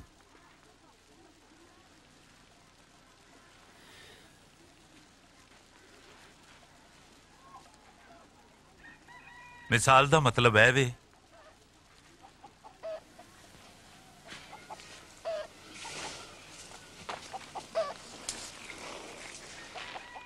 ਬੀ ਤੇ ਰੱਬ ਦਾ ਵਚਨ ਹੈ ਰਾਵਾਂ 'ਚ ਡਿੱਗਿਆ ਬੀ ਉਹ ਹੈ ਜਿਹੜੇ ਵਚਨਾਂ ਨੂੰ ਸੁਣਦੇ ਨੇ। ਪਰ ਸ਼ੈਤਾਨ ਆ ਕੇ ਉਹਨਾਂ ਦੇ ਦਿਲਾਂ 'ਚੋਂ ਵਚਨਾਂ ਨੂੰ ਚੁਰਾ ਲੈਂਦਾ ਹੈ ਤਾਂ ਕਿ ਉਹ ਯਕੀਨ ਕਰਕੇ ਮੁਕਤੀ ਨਾ ਪਾ ਲੈਣ। ਪਥਰੀਲੀ ਧਰਤੀ ਤੇ ਡਿੱਗੇ ਬੀ ਉਹ ਨੇ ਜਿਹੜੇ ਵਚਨਾਂ ਨੂੰ ਖੁਸ਼ੀ ਨਾਲ ਸੁਣ ਕੇ ਮੰਨਦੇ ਨੇ। ਪਰ ਜਦ ਡੂੰਗੀ ਨਾ ਹੋਣ ਨਾਲ ਥੋੜੇ ਵੇਲੇ ਲਈ ਯਕੀਨ ਕਰ ਲੈਂਦੇ ਤੇ ਅਜਮਾਇਸ਼ ਦਾ ਵੇਲਾ ਆਉਣ ਤੇ ਡਿੱਗ ਪੈਂਦੇ ਨੇ। ਕੰਡਿਆਂ ਵਿੱਚ ਡਿੱਗੇ ਬੀ ਉਹ ਨੇ ਜਿਹੜੇ ਰੱਬ ਦੇ ਵਚਨਾਂ ਨੂੰ ਸੁਣਦੇ, ਪਰ ਇਸ ਜ਼ਿੰਦਗੀ ਦੇ ਫਿਕਰ, ਦੌਲਤ ਤੇ ਸੁੱਖ ਨੂੰ ਘੇਰ ਕੇ ਦਬਾ ਲੈਂਦੇ ਨੇ। ਤੇ ਉਹਨਾਂ ਦਾ ਫਲ ਕਦੀ ਨਹੀਂ ਪੱਕਦਾ ਚੰਗੀ ਧਰਤੀ ਤੇ ਡਿੱਗੇ ਬੀ ਉਹ ਨੇ ਜਿਹੜੇ ਵਚਨਾਂ ਨੂੰ ਸੁਣ ਕੇ ਆਗਿਆਕਾਰੀ ਤੇ ਭਲੇ ਮਨ 'ਚ ਸੰਭਾਲ ਕੇ ਰੱਖਦੇ ਨੇ ਅਤੇ ਫਲ ਪਾਣ ਤੱਕ ਉਹ ਸਬਰ ਕਰਦੇ ਨੇ।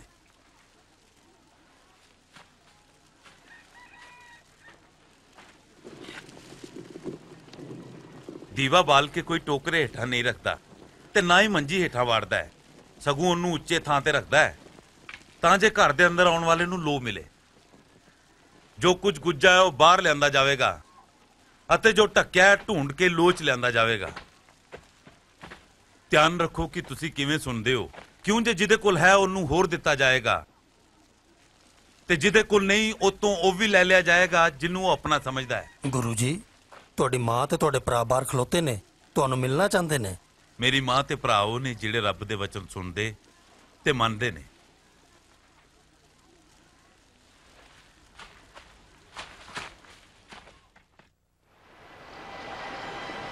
ਇੱਕ ਦਿਨ ਯੀਸ਼ੂ ਆਪਣੇ ਚੇਲਿਆਂ ਦੇ ਨਾਲ ਕਿਸ਼ਤੀ ਵਿੱਚ ਚੜਿਆ ਅਤੇ ਉਹਨਾਂ ਨੂੰ ਕਿਹਾ, ਚਲੋ, ਝੀਲ ਦੇ ਉਸ ਪਾਰ ਚਲੀਏ।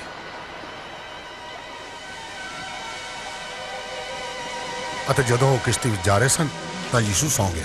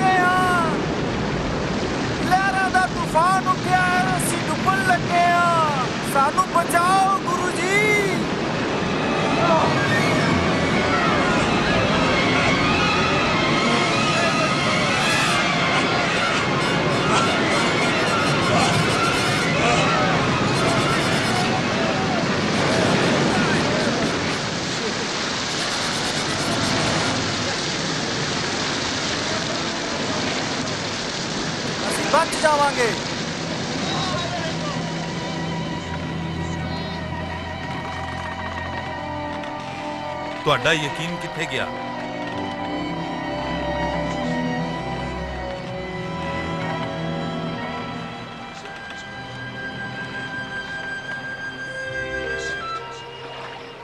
ਫਿਰ ਉਹ ਗਿਰਸੇਨੀਆਂ ਦੇ ਇਲਾਕੇ ਵੱਲ ਆਏ, ਜੋ ਗਲੀਲ ਤੋਂ ਝੀਲ ਦੇ ਦੂਜੇ ਕੰਢੇ ਤੇ ਹੈ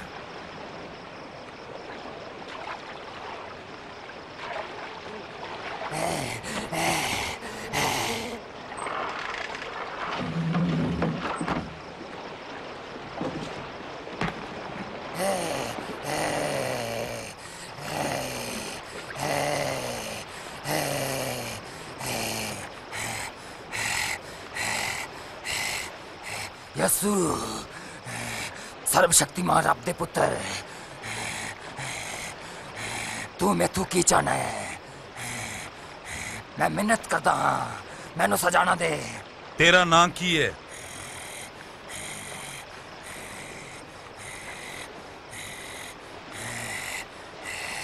ਲਸ਼ਕਰ ਅਸੀਂ ਮਿਹਨਤ ਕਰਦੇ ਹਾਂ ਸਾਨੂੰ ਨਰਕ ਵਿੱਚ ਨਾ ਸੁੱਟ ਸਾਨੂੰ ਸੂਰਾਂ ਵਿੱਚ ਜਾਣ ਦੀ ਇਜਾਜ਼ਤ ਦੇ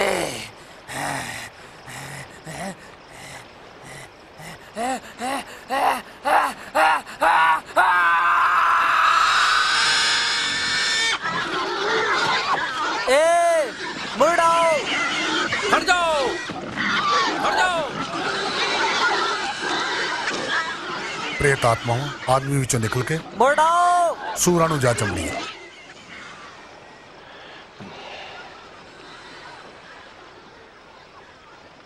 ਇੱਥੋਂ ਦੂਰ ਚਲੇ ਜਾ ਏ ਜਾਦੂਗਰ ਸਾਨੂੰ ਛੱਡ ਦੇ। ਇਸ ਥਾਂ ਤੋਂ ਦੂਰ ਚਲੇ ਜਾ। ਇੱਥੋਂ ਦੂਰ ਚਲੇ ਜਾ। ਇਸ ਥਾਂ ਤੋਂ ਦੂਰ ਚਲੇ ਜਾ। ਤੁਸੀਂ ਜਿੱਥੇ ਵੀ ਜਾਓਗੇ ਮੈਂ ਚਲਾਂਗਾ। ਮੈਨੂੰ ਆਪਣੇ ਨਾਲ ਆਣ ਦਿਓ। ਘਰ ਨੂੰ ਮੁੜ ਜਾ।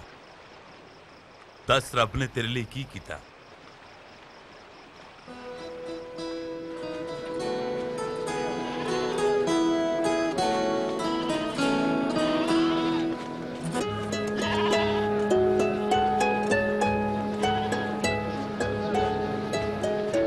ਯੀਸ਼ੂ ਤੇ ਉਹਦੇ ਚੇਲੇ ਭੀੜ ਨਾਲੋਂ ਵੱਖ ਹੋ ਕੇ ਬੈਤਸਦਾ ਨੂੰ ਗਏ।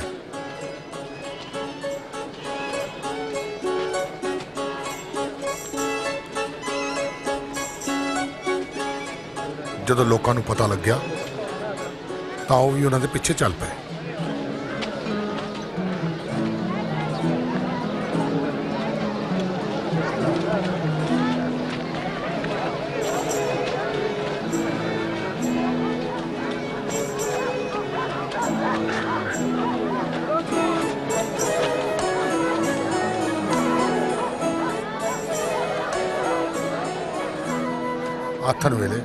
ਨੇ ਕਿਹਾ। ਗੁਰੂ ਜੀ ਇਹਨਾਂ ਲੋਕਾਂ ਨੂੰ ਭੇਜ ਦਿਓ ਤਾਂ ਇਹ ਨੇੜੇ ਦੇ ਪਿੰਡ ਤੇ ਖੇਤਾਂ ਵਿੱਚ ਜਾ ਕੇ ਆਪਣੇ ਲਈ ਭੋਜਨ ਤੇ ਠਹਿਰਨ ਦਾ ਇੰਤਜ਼ਾਮ ਕਰ ਸਕਣ। ਇਹ ਥਾਂ ਸੁਨਸਾਨ ਹੈ।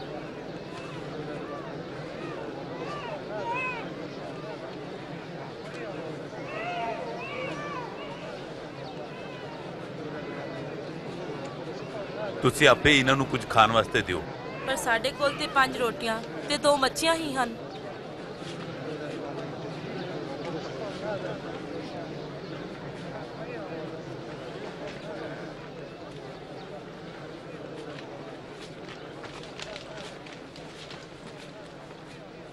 ਤਾਨੇ ਤੂੰ ਉਹ ਪ੍ਰਭੂ ਸਾਡੇ ਰੱਬਾ ਸ੍ਰਿਸ਼ਟੀ ਦੇ ਪਾਤਸ਼ਾਹ ਜਿਹੜਾ ਧਰਤੀ ਤੂੰ ਅੰਨ ਉਗਾਨਾ ਹੈ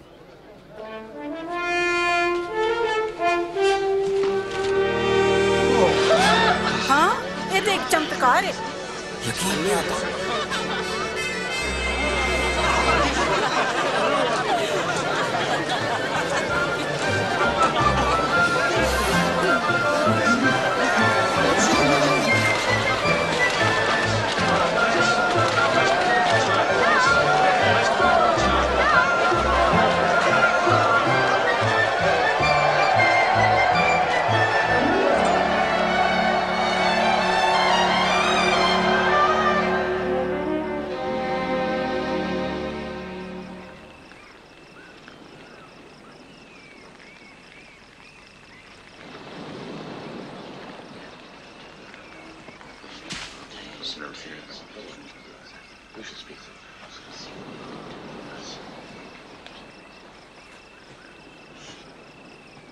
ਮੇਰੇ ਬਾਰੇ ਲੋਕੀ ਕੀ ਕਹਿੰਦੇ ਨੇ? ਕੁਝ ਕਹਿੰਦੇ ਹਨ ਤੁਸੀਂ ਯਹੂਨਾ ਬਪਤਿਸਮਾ ਦੇਣ ਵਾਲੇ ਹੋ ਜਦਕਿ ਹੋਰ ਆਖਦੇ ਹਨ ਤੁਸੀਂ ਏਲੀਆ ਹੋ। ਅਤੇ ਕੁਝ ਕਹਿੰਦੇ ਹਨ ਕਿ ਪ੍ਰਾਚੀਨ ਕਾਲ ਦੇ ਨਬੀਆਂ ਵਿੱਚੋਂ ਇੱਕ ਫੇਰ ਜੀ ਉੱਠਿਆ ਹੈ। ਹੁਣ ਫਿਰ ਤੁਸੀਂ ਦੱਸੋ ਕਿ ਮੈਂ ਕੌਣ ਆ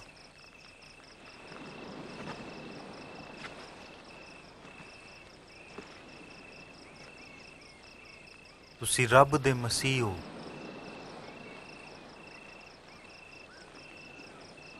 ਤੁਸੀਂ ਕਿਸੇ ਨੂੰ ਇਹ ਨਾ ਦੱਸਿਓ। ਮਨੁੱਖ ਦਾ ਪੁੱਤ ਦੁੱਖ ਪਾਏਗਾ ਤੇ ਨਕਾਰਿਆ ਜਾਵੇਗਾ। ਉਹ ਮਾਰਿਆ ਜਾਏਗਾ, ਪਰ ਉਹਦੇ ਬਾਅਦ ਤੀਜੇ ਦਿਨ ਜ਼ਿੰਦਾ ਹੋ ਜਾਏਗਾ।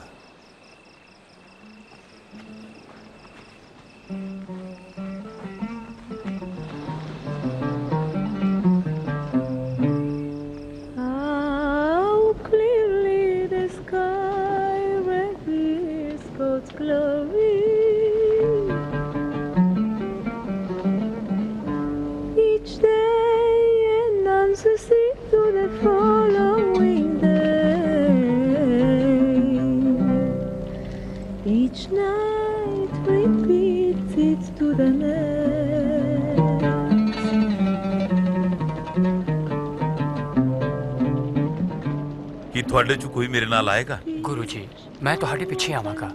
ਪਰ ਪਹਿਲਾਂ ਮੈਂ ਆਪਣੇ ਘਰ ਵਾਲੇ ਨੂੰ ਜਾ ਕੇ ਦੱਸ ਆਵਾਂ।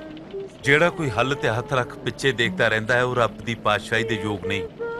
ਅਗਰ ਕੋਈ ਮੇਰੇ ਪਿੱਛੇ ਆਉਣਾ ਚਾਹੁੰਦਾ ਹੈ ਉਹ ਆਪ ਨੂੰ ਭੁੱਲ ਜਾਏ। ਆਪਣੀ ਸਲੀਬ ਹਰ ਦਿਨ ਚੁੱਕੇ ਤੇ ਮੇਰੇ ਪਿੱਛੇ ਆਏ। ਕਿਉਂਕਿ ਜਿਹੜਾ ਕੋਈ ਆਪਣੀ ਜਾਨ ਬਚਾਏਗਾ ਉਹ ਉਹਨੂੰ ਗਵਾਏਗਾ। ਪਰ ਜਿਹੜਾ ਕੋਈ ਮੇਰੇ ਲਈ ਆਪਣੀ ਜਾਨ ਗਵਾਏਗਾ ਉਹ ਉਹਨੂੰ ਬਚਾਏਗਾ।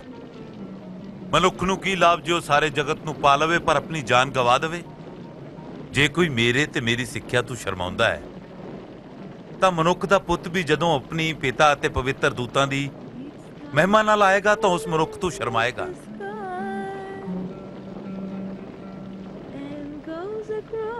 ਮੈਂ ਵਾਅਦਾ ਕਰਨਾ ਵਾਂ। ਇੱਥੇ ਕੁਝ ਐਸੇ ਨੇ ਜਿਹੜੇ ਜਦ ਤੱਕ ਰੱਬ ਦੀ ਪਾਤਸ਼ਾਹੀ ਨਾ ਵੇਖ ਲੈਣ, ਤਦ ਤੱਕ ਨਹੀਂ ਮਰਨਗੇ। ਫਿਰ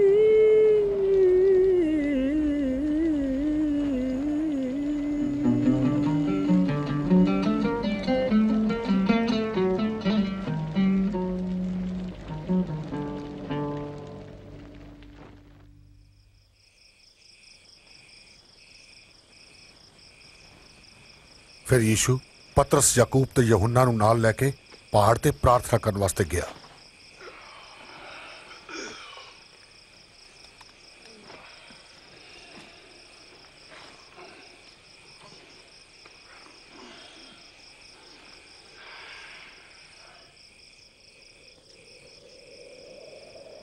ਜਦੋਂ ਉਹ ਪ੍ਰਾਰਥਨਾ ਕਰ ਰਿਹਾ ਸੀ ਤਾਂ ਉਸ ਦੇ ਚਿਹਰੇ ਦਾ ਰੂਪ ਬਦਲ ਗਿਆ। ਉਸ ਦੇ ਕੱਪੜੇ ਚਿੱਟੇ ਚਮਕੀਲੇ ਹੋ ਗਏ। ਅਚਾਨਕ ਦੋ ਮਨੁੱਖ ਉਸ ਨਾਲ ਗੱਲਾਂ ਕਰ ਰਹੇ ਸਨ ਜਿਹੜੇ ਸਵਰਗੀ ਜਲਾਲ ਵਿੱਚ ਪ੍ਰਗਟ ਹੋਏ ਸਨ। ਉਹ ਮੂਸਾ ਤੇ ਏਲੀਆ ਸਨ। ਤੁਸੀਂ ਪਰਮੇਸ਼ਵਰ ਦੀ ਮਰਜ਼ੀ ਨੂੰ ਪੂਰਾ ਕਰੋਗੇ। ਤੁਸੀਂ ਯਰੂਸ਼ਲਮ ਵਿੱਚ ਮਰੋਗੇ।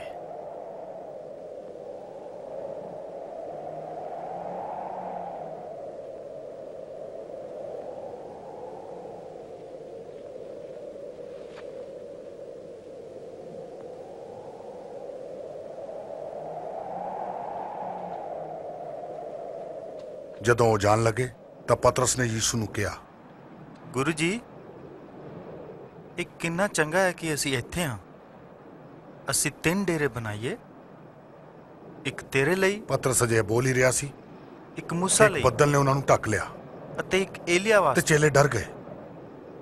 ਤੇ ਬੱਦਲ ਵਿੱਚੋਂ ਇਹ ਆਵਾਜ਼ ਆਈ ਇਹ ਮੇਰਾ ਚੁਣਿਆ ਹੋਇਆ ਪੁੱਤਰ ਹੈ ਇਸ ਦੀ ਸੁਣੋ।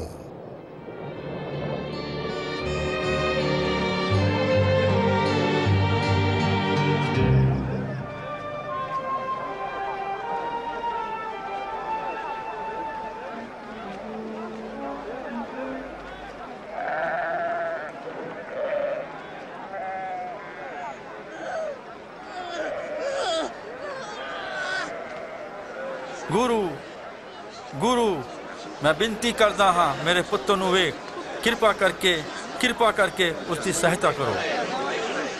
ਕਿਉਂਕਿ ਉਹ ਮੇਰਾ ਇਕਲੌਤਾ ਪੁੱਤਰ ਹੈ, ਉਸ ਵਿੱਚੋਂ ਦੁਸ਼ਟ ਆਤਮਾ ਕੱਢਣ ਲਈ ਤੇਰੇ ਚੇਲਿਆਂ ਨੂੰ ਬੇਨਤੀ ਕੀਤੀ, ਪਰ ਉਹ ਨਾ ਕੱਢ ਸਕੇ। ਉਹ ਵਿੰਗੇ ਤੇ ਬੇਚਕੀਨੀ ਪੀੜੀ ਦੇ ਲੋਕੋ, ਮੈਂ ਕਦ ਤੱਕ ਤੁਹਾਡੇ ਨਾਲ ਰਵਾਂਗਾ ਤੇ ਤੁਹਾਡੀਆਂ ਸਹਿੰਦਾ ਰਹਾਂਗਾ? ਆਪਣੇ ਪੁੱਤ ਨੂੰ ਇੱਥੇ ਲਿਆ।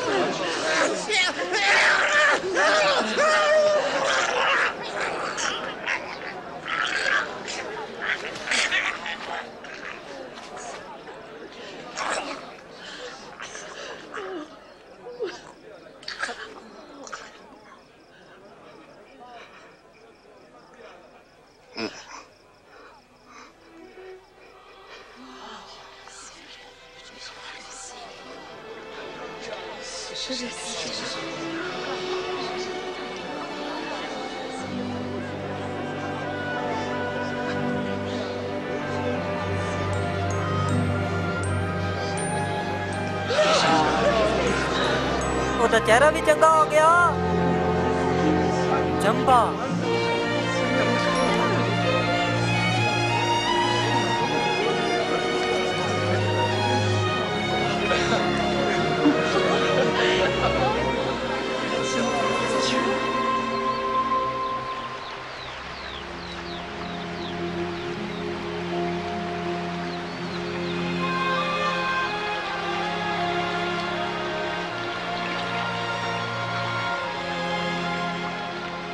ਸਾਨੂੰ ਦੁਆ ਕਰਨਾ ਸਿਖਾਓ, ਜਿੱਦਾਂ ਯਹੂਨਾ ਨੇ ਆਪਣੇ ਚੇਲਿਆਂ ਨੂੰ ਸਿਖਾਇਆ। ਜਦੋਂ ਦੁਆ ਕਰੋ ਤੇ ਕਹੋ, ਐ ਸਾਡੇ ਪਿਤਾ ਜੋ ਸਵਰਗ ਵਿੱਚ ਹੈ, ਤੇਰਾ ਨਾਮ ਪਵਿੱਤਰ ਮੰਨਿਆ ਜਾਏ, ਤੇਰੀ ਪਾਤਸ਼ਾਹੀ ਆਏ। ਜਿਵੇਂ ਅਸਮਾਨ ਤੇ ਉਦਾਂ ਹੀ ਧਰਤੀ ਤੇ ਤੇਰੀ ਮਰਜ਼ੀ ਪੂਰੀ ਹੋਵੇ। ਸਾਡੇ ਰੋਜ਼ ਭਰ ਦੀ ਰੋਟੀ ਸਾਨੂੰ ਦੇ ਤੇ ਸਾਡੇ ਪਾਪ ਬਖਸ਼। ਜਿਵੇਂ ਅਸੀਂ ਆਪਣੇ ਕਸੂਰਵਾਰਾਂ ਨੂੰ ਬਖਸ਼ਦੇ ਹਾਂ, ਤੇ ਸਾਨੂੰ ਅਜਮਾਇਸ਼ 'ਚ ਨਾ ਪੈਣ ਦੇ। ਪਰ ਬੁਰਾਈ ਤੋਂ ਬਚਾ।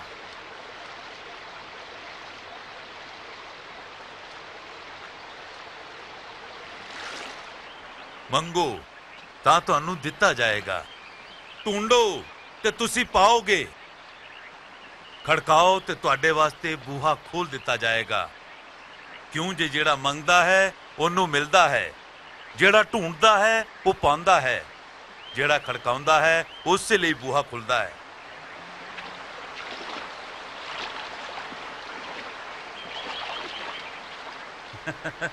ਤੁਹਾਡੇ ਚੋਂ ਕਿਹੜਾ ਐਸਾ ਪਿਤਾ ਵੇ ਜਿਹੜਾ ਆਪਣੇ ਪੁੱਤ ਨੂੰ ਅੰਡਾ ਮੰਗਣ ਤੇ ਬਿੱਛੂ ਦਵੇ ਤੇ ਮੱਛੀ ਮੰਗਣ ਤੇ ਉਹਨੂੰ ਸੱਪ ਦਵੇ?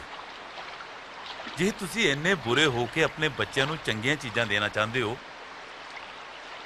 ਤਾਂ ਇਹ ਕਿੱਡੀ ਵੱਡੀ ਗੱਲ ਏ ਕਿ ਤੁਹਾਡਾ ਅਸਮਾਨੀ ਪਿਤਾ ਆਪਣੇ ਮੰਗਣ ਵਾਲੇ ਨੂੰ ਪਾਕ ਰੂਹ ਦੇਵੇਗਾ। ਮੈਂ ਕਹਿਣਾ ਵਾਂ, ਆਪਣੀ ਜ਼ਿੰਦਗੀ 'ਚ ਫਿਕਰ ਨਾ ਕਰੋ। ਕਿ ਤੁਸੀਂ ਕੀ ਖਾਓਗੇ? ਨਾ ਤਨ ਦੀ ਕਿ ਕੀ ਪਹਿਨੋਗੇ? ਕਿਉਂਕਿ ਜ਼ਿੰਦਗੀ ਰੋਟੀ ਤੋਂ ਤੇ ਤਨ ਕੱਪੜੇ ਤੋਂ ਵੱਧ ਕੇ ਹੈ। ਕਾਵਾਂ ਤੇ ਧਿਆਨ ਦਿਓ। ਉਹ ਨਾ ਤੇ ਬੀਜਦੇ ਨੇ ਤੇ ਨਾ ਹੀ ਕੱਟਦੇ ਨੇ। ਨਾ ਹੀ ਉਹਨਾਂ ਦੀਆਂ ਪੜੋਲੀਆਂ ਨੇ। ਤਾਂ ਵੀ ਰੱਬ ਉਹਨਾਂ ਨੂੰ ਪਾਲਦਾ ਹੈ। ਫਿਰ ਤੁਸੀਂ ਤੇ ਪੰਛੀਆਂ ਤੋਂ ਕਿੰਨੇ ਵੱਧ ਕੀਮਤੀ ਹੋ?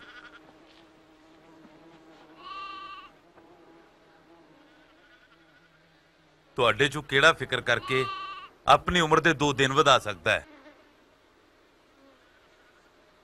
ਤੁਸੀਂ ਇੰਨਾ ਛੋਟਾ ਕੰਮ ਨਹੀਂ ਕਰ ਸਕਦੇ, ਤਾਂ ਬਾਕੀ ਫਿਕਰ ਕਿਉਂ ਕਰਦੇ ਹੋ? ਸੋਸਨ ਦੇ ਫੁੱਲਾਂ ਵੱਲ ਵੇਖੋ ਕਿਵੇਂ ਵੱਧਦੇ ਨੇ। ਨਾ ਉਹ ਕੋਈ ਮਿਹਨਤ ਕਰਦੇ ਨੇ ਤੇ ਨਾ ਹੀ ਬੁਣਦੇ ਨੇ।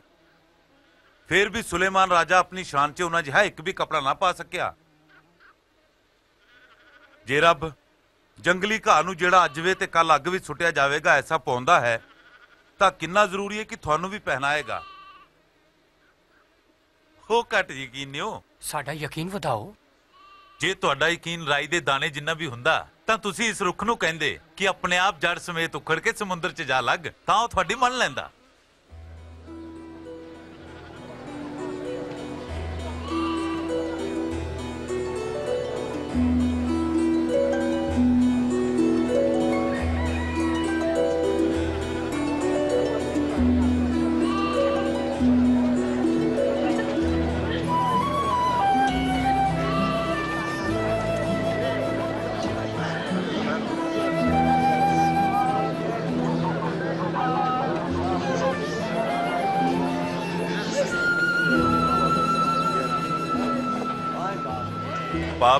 ਦੀ ਅਜਮਾਇਸ਼ ਤਾਂ ਜ਼ਰੂਰ ਆਉਂਦੀ ਹੈ।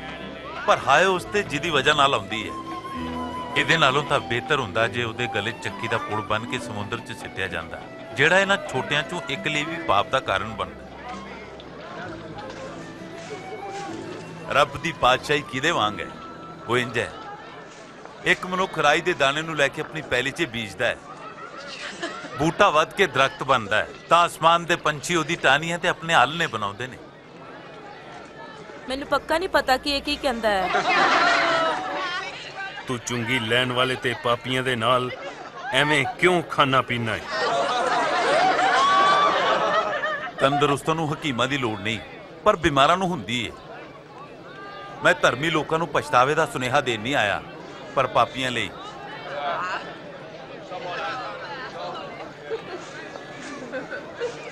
ਸਾਨੂੰ ਰੱਬ ਦੇ ਰਾਜ ਬਾਰੇ ਫੇਰ ਦੱਸੋ ਕਿ ਕੁਝ ਹੋਰ ਵੀ ਹੈ?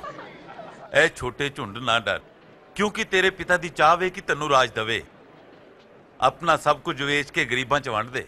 ਆਪਣੇ ਵਾਸਤੇ ਐਸੇ ਬਟੂਏ ਬਣਾ ਜਿਹੜੇ ਕਦੀ ਪੁਰਾਣੇ ਨਾ ਹੋਣ ਅਤੇ ਆਪਣਾ ਧਨ ਸਵਰਗਾਂ 'ਚ ਇਕੱਠਾ ਕਰ ਜਿੱਥੇ ਉਹ ਕਦੀ ਨਹੀਂ ਘਟਦਾ। ਕਿਉਂ ਜੇ ਉੱਥੇ ਕੋਈ ਚੋਰ ਪੁੱਜ ਨਹੀਂ ਸਕਦਾ ਤੇ ਨਾ ਹੀ ਘੁਣ ਲੱਗ ਸਕਦਾ ਹੈ। ਜਿੱਥੇ ਤੁਹਾਡਾ ਧਨ ਹੈ ਮਨ ਵੀ ਹਮੇਸ਼ਾ ਉੱਥੇ ਹੀ ਰਹੇਗਾ।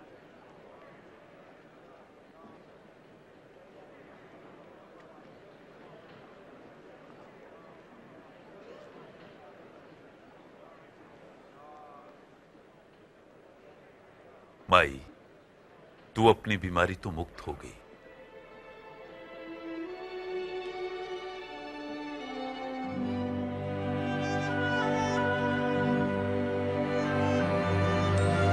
देखो देखो, ये चंगी हो गई है।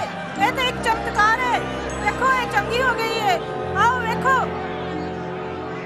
प्रभु प्रभु दी वड्याई हो गए। अठारह साल।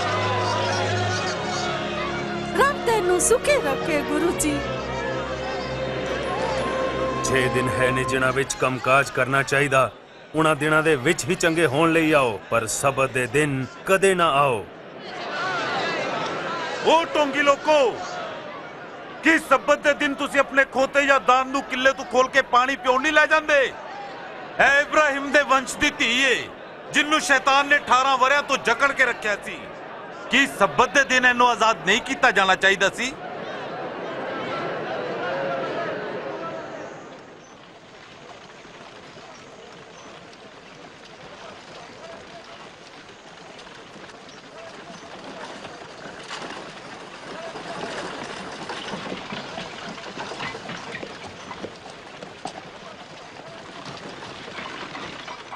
ਭਲੇ ਗੁਰੂ, ਮੈਨੂੰ ਅਨੰਤ ਜੀਵਨ ਪਾਣ ਲਈ ਕੀ ਕਰਨਾ ਚਾਹੀਦਾ ਹੈ? ਤੂੰ ਮੈਨੂੰ ਭਲਾ ਕਿਉਂ ਕਹਿੰਦਾ ਹੈ? ਰੱਬ ਨੂੰ ਛੱਡ ਕੋਈ ਭਲਾ ਨਹੀਂ। ਤੂੰ ਹੁਕਮਾਂ ਨੂੰ ਤੇ ਜਾਣਨਾ ਹੈ। ਜਨਾ ਨਾ ਕਰ ਖੂਨ ਨਾ ਕਰ ਕਿਸੇ ਤੇ ਝੂਠਾ ਇਲਜ਼ਾਮ ਨਾ ਲਾ। ਆਪਣੇ ਮਾਤਾ ਪਿਤਾ ਦਾ ਆਦਰ ਕਰ। ਮੈਂ ਬਚਪਨ ਤੋਂ ਹੀ ਇਨ੍ਹਾਂ ਸਾਰੇ ਹੁਕਮਾਂ ਨੂੰ ਮੰਨਦਾ ਆਇਆ ਹਾਂ। ਤੈਨੂੰ ਇੱਕ ਹੋਰ ਕੰਮ ਕਰਨ ਦੀ ਲੋੜ ਹੈ। ਆਪਣਾ ਸਭ ਕੁਝ ਵੇਚ ਕੇ ਗਰੀਬਾਂ 'ਚ ਧਨ ਵੰਡ ਦੇ ਤਾਂ ਤੈਨੂੰ ਸਵਰਗ 'ਚ ਧਨ ਮਿਲੇਗਾ। ਫੇਰ ਮੇਰੇ ਪਿੱਛੇ ਹੋ ਲੈ। ਅਸੀਂ ਤੇ ਬੜੇ ਤਨੀ ਹਾਂ। ਵਪਾਰੀ ਧਨਵਾਨ ਦਾ ਰੱਬ ਦੀ ਪਾਤਸ਼ਾਹੀ 'ਚ ਜਾਣਾ ਕਿੰਨਾ ਔਖਾ ਹੈ ਧਨਵਾਨ ਦਾ ਰੱਬ ਦੀ ਪਾਤਸ਼ਾਹੀ ਵਿੱਚ ਦਾਖਲ ਹੋਣ ਨਾਲੋਂ ਊਂਟ ਦਾ ਸੂਈ ਦੇ ਨੱਕੇ 'ਚੋਂ ਨਿਕਲਣਾ ਸੌਖਾ ਹੈ ਫਿਰ ਸਾਨੂੰ ਕੌਣ ਬਚਾ ਸਕਦਾ ਹੈ ਜੋ ਕੁਝ ਮਨੁੱਖ ਲਈ ਨਾਮੁਮਕਿਨ ਹੈ ਉਹ ਰੱਬ ਵਾਸਤੇ ਮੁਮਕਿਨ ਹੈ ਪਰਮੇਸ਼ਵਰ ਦਾ ਰਾਜ ਠੀਕ ਕਿਹੜੀ ਥਾਂ ਹੋਵੇਗਾ? ਰੱਬ ਦੀ ਪਾਤਸ਼ਾਹੀ ਇੰਜ ਨਹੀਂ ਹੁੰਦੀ ਕਿ ਵੇਖੀ ਜਾਵੇ। ਕੋਈ ਵੀ ਇਹ ਨਹੀਂ ਕਹੇਗਾ, ਵੇਖੋ, ਉਹ ਇੱਥੇ ਵੇ ਜਾਂ ਉੱਥੇ ਵੇ। ਕਿਉਂ ਜੇ ਰੱਬ ਦੀ ਪਾਤਸ਼ਾਹੀ ਤੁਹਾਡੇ ਅੰਦਰ ਹੈ ਵੇਲਾ ਆਏਗਾ ਜਦੋਂ ਤੁਸੀਂ ਮਨੁੱਖ ਦੇ ਪੁੱਤ ਦੇ ਦਿਨਾਂ ਚੋਂ ਇੱਕ ਨੂੰ ਵੇਖਣਾ ਚਾਹੋਗੇ, ਪਰ ਨਹੀਂ ਵੇਖ ਸਕੋਗੇ। ਜਿਵੇਂ ਬਿਜਲੀ ਅਸਮਾਨ ਤੇ ਚਮਕ ਕੇ ਇੱਕ ਪਾਸੇ ਤੋਂ ਦੂਜੇ ਪਾਸੇ ਨੂੰ ਰੋਸ਼ਨ ਕਰਦੀ ਹੈ, ਉਂਝ ਹੀ ਮਨੁੱਖ ਪੁੱਤਰ ਵੀ ਆਪਣੇ ਦਿਨ ਤੇ ਪ੍ਰਗਟ ਹੋਏਗਾ। ਪਰ ਪਹਿਲੇ ਉਹਨੂੰ ਬੜੇ ਦੁੱਖ ਸਹਿ ਕੇ ਇਸ ਜਹਾਨ ਤੋਂ ਨਕਾਰਿਆ ਜਾਣਾ ਜ਼ਰੂਰੀ ਹੈ।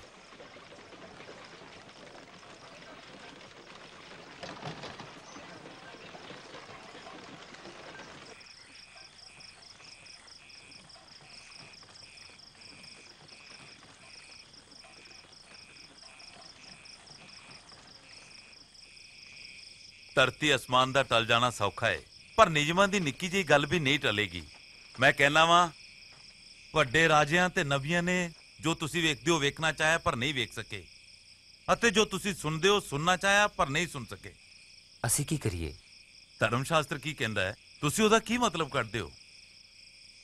ਤੂੰ ਪ੍ਰਭੂ ਆਪਣੇ ਰੱਬ ਨੂੰ ਸਾਰੇ ਦਿਲ ਸਾਰੀ ਜਾਨ ਸਾਰੀ ਤਾਕਤ ਸਾਰੀ ਅਕਲ ਨਾਲ ਪਿਆਰ ਕਰ ਤੇ ਆਪਣੇ ਗਵਾਂਢੀ ਨੂੰ ਆਪਣੇ ਵਾਂਗੂ ਪਿਆਰ ਕਰ। ਤੁਸੀਂ ਠੀਕ ਕਹਿੰਦੇ ਹੋ। ਇੰਜ ਹੀ ਕਰੋ ਤਾਂ ਜੀਓਗੇ। ਮੇਰਾ ਗਵਾਂਢੀ ਕੌਣ ਹੈ? ਉਹ ਸਿਪਾਹੀ ਨਹੀਂ। ਕੈਸਰ ਬਾਰੇ ਕੀ ਹੈ?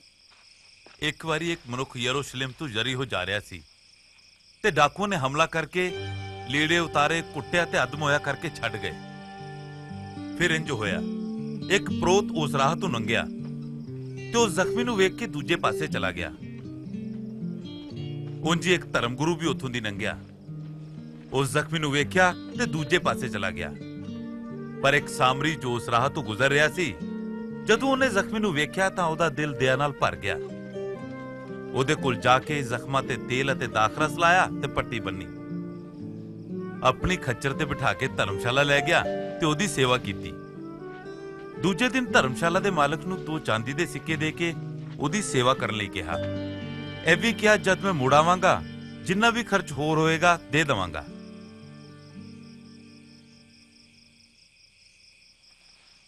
ਇਹਨਾਂ ਤਿੰਨਾਂ ਚੋਂ ਕਿੰਨੇ ਲੁੱਟੇ ਹੋਏ ਜ਼ਖਮੀ ਮਨੁੱਖ ਨਾਲ ਗੁਆਂਢੀ ਜਿਹਾ ਸਲੂਕ ਕੀਤਾ? ਉਹ ਜਿਹੜਾ ਦਿਆਲੂ ਸੀ। ਤੁਸੀਂ ਵੀ ਐਸਾ ਹੀ ਕਰੋ। ਨਿੱਕੇ ਬੱਚਿਆਂ ਨੂੰ ਮੇਰੇ ਕੋਲ ਆਣ ਦਿਵੋ ਇਹਨਾਂ ਨੂੰ ਨਾ ਰੋਕੋ। ਕਿਉਂਕਿ ਰੱਬ ਦੀ ਪਾਤਸ਼ਾਹੀ ਇਹਨਾਂ ਜਿਹੀ ਹੀ ਹੈ।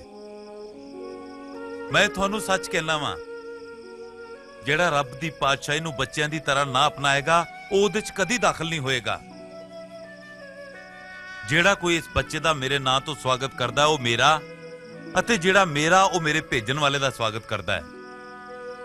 ਤੁਹਾਡੇ 'ਚੋਂ ਜਿਹੜਾ ਸਭ ਤੋਂ ਨਿੱਕਾ ਹੈ ਉਹੀ ਸਭ ਤੋਂ ਮਹਾਨ ਹੈ।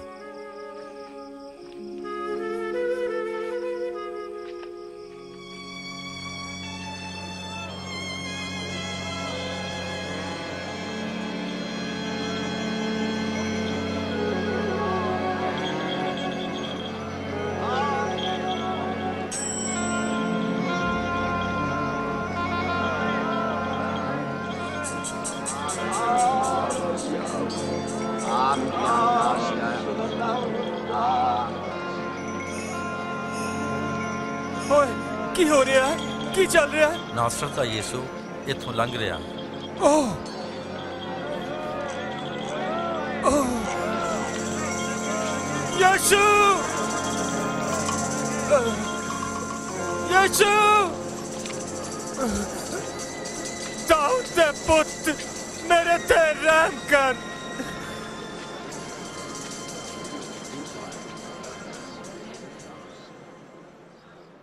ਤੂੰ ਕੀ ਚਾਹੁੰਦਾ ਹੈ ਜੋ ਮੈਂ ਤੇਰੇ ਲਈ ਕਰਾਂ ਮੈਂ ਫੇਰ ਵੇਖਣਾ ਚਾਹੁੰਦਾ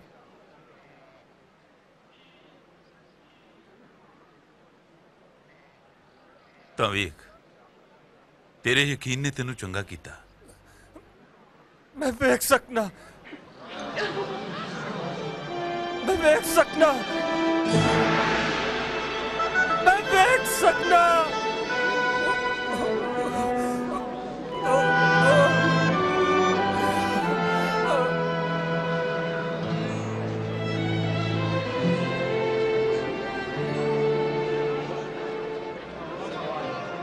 ਜਦੋਂ ਯੀਸ਼ੂ ਯਰੂਸ਼ਲਮ ਨੂੰ ਜਾ ਰਿਹਾ ਸੀ ਹਰ ਜਗ੍ਹਾ ਉਸ ਨੂੰ ਬੜੀ ਭੀੜ ਮਿਲੀ।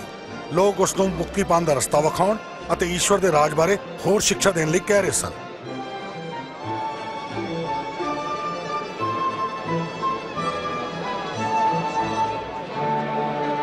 ਇਹ ਮਨੁੱਖ ਸੱਚਮੁੱਚ ਇੱਕ ਨਬੀ ਹੈ। ਮੇਰੇ ਗੁਰੂ ਮੇਰੇ ਪ੍ਰਭੂ ਮੈਨੂੰ ਬਚਾ।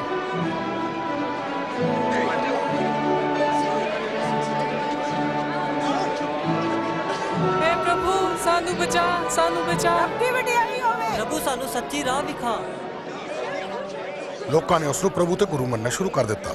ਯਰੀਓ ਸ਼ਹਿਰ ਵਿੱਚ ਜਕਈ ਨਾਂ ਦਾ ਇੱਕ ਚੁੰਗੀ ਲੈਣ ਵਾਲਾ ਸੀ ਜਿਸ ਨੂੰ ਯੀਸ਼ੂ ਨੂੰ ਵੇਖਣ ਦੀ ਇੰਨੀ ਤਾਂਗ ਸੀ ਕਿ ਉਹ ਭੀੜ ਤੋਂ ਉੱਚਾ ਹੋਣ ਲਈ ਇੱਕ ਤਖਤ ਤੇ ਚੜ ਗਿਆ। ਉਹ ਤਾਂ ਚੁੰਗੀ ਲੈਣ ਵਾਲਾ ਹੈ। ਛੇਤੀ ਥੱਲੇ ਆ ਯਕਈ।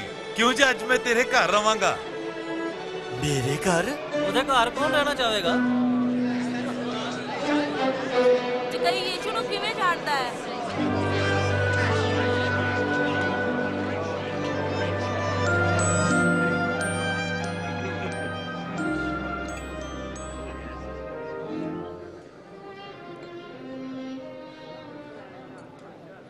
ਸੁਣੋ, ਮੈਂ ਆਪਣੇ ਮਾਲ ਦਾ ਅੱਧਾ ਹਿੱਸਾ ਗਰੀਬਾਂ ਨੂੰ ਦਿੰਦਾ ਹਾਂ ਅਤੇ ਜੇਕਰ ਮੈਂ ਕਿਸੇ ਨੂੰ ਠੱਗਿਆ ਹੈ, ਤਾਂ ਮੈਂ ਉਸ ਨੂੰ ਚਾਰ ਗੁਣਾ ਮੋੜ ਦੇਵਾਂਗਾ।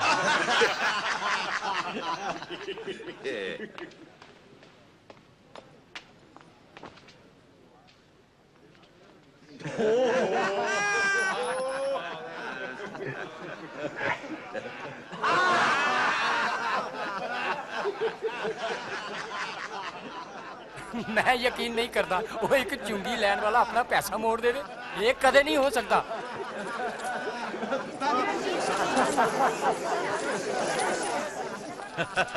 ਅੱਜ ਇਸ ਘਰ ਵਿੱਚ ਨਜਾਤ ਆਈ ਏ। ਕਿਉਂ ਜੇ ਮਨੁੱਖ ਇਬਰਾਹਿਮ ਦੀ ਪੀੜ੍ਹੀ ਚੋਂ ਇੱਕ ਏ? ਮਨੁੱਖ ਦਾ ਪੁੱਤ ਗਵਾਚਿਆਂ ਨੂੰ ਢੂੰਡਣ ਤੇ ਬਚਾਉਣ ਆਇਆ ਹੈ।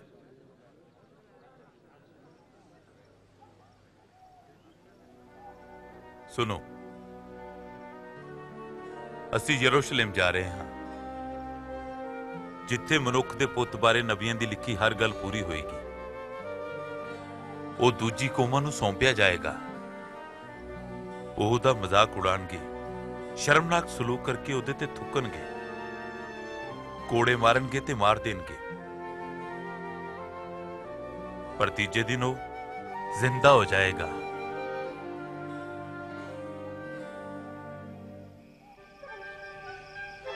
ਯਿਸੂ ਨੂੰ ਪਤਾ ਸੀ ਕਿ ਉਹ ਮਨੁੱਖ ਜਾਤੀ ਦੇ ਪਾਪਾਂ ਲਈ ਮਾਰਿਆ ਜਾਵੇਗਾ। ਫਿਰ ਵੀ ਉਸਨੇ ਯਰੂਸ਼ਲਮ ਦੀ ਰਾਹ ਫੜੀ। ਬਹੁਤ ਸਾਰੇ ਲੋਕਾਂ ਨੇ ਉਹਦੇ ਆਉਣ ਦੀ ਖੁਸ਼ੀ ਮਨਾਈ ਤੇ ਉਸ ਨੂੰ ਆਪਣਾ ਰਾਜਾ ਮੰਨ ਲਿਆ।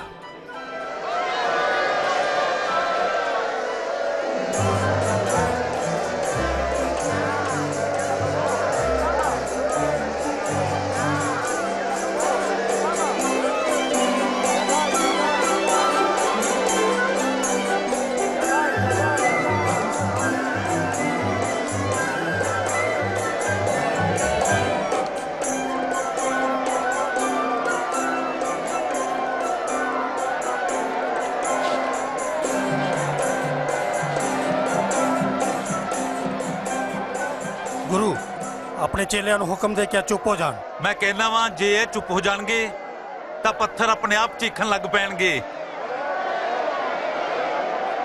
ਸ਼ਾਂਤੀ ਸੁੱਖ ਮਾਣ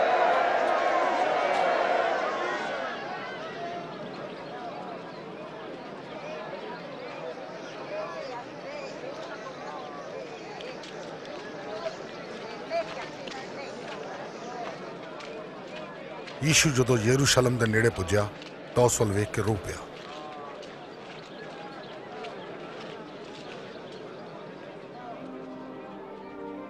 ਜਿਹੜਾ ਸਿਰਫ ਅੱਜ ਦੇ ਦਿਨ ਤੂੰ ਆਪਣੀ ਸ਼ਾਂਤੀ ਦੀ ਰਾਹ ਨੂੰ ਜਾਣਦਾ ਪਰ ਉਸ 'ਚ ਤੂੰ ਨਾਕਾਮ ਰਿਹਾ ਉਹ ਦਿਨ ਆਉਣਗੇ ਜਦ ਤੇਰੇ ਵੈਰੀ ਮੋਰਚਾ ਬਨ ਕੇ ਤੈਨੂੰ ਘੇਰਨਗੇ ਅਤੇ ਚਾਰੋਂ ਪਾਸਿਓਂ ਘੇਰਾ ਪਾ ਕੇ ਤੈਨੂੰ ਕੁੱਟਣਗੇ ਅਤੇ ਤੇਰਾ ਕੰਧਾਂ 'ਚ ਤੇਰਾ ਖਾਤਮਾ ਕਰਨਗੇ ਤੇਰਾ ਤੇ ਤੇਰੇ ਬੱਚਿਆਂ ਦਾ ਤੇ ਉਹ ਤੇਰੇ ਵਿੱਚ ਪੱਥਰ ਤੇ ਪੱਥਰ ਨਹੀਂ ਰਹਿਣ ਦੇਣਗੇ, ਕਿਉਂਕਿ ਤੂੰ ਉਸ ਘੜੀ ਨੂੰ ਨਹੀਂ ਪਛਾਣਿਆ ਜਦੋਂ ਤੇਰੇ ਤੇ ਮਿਹਰ ਹੋਈ।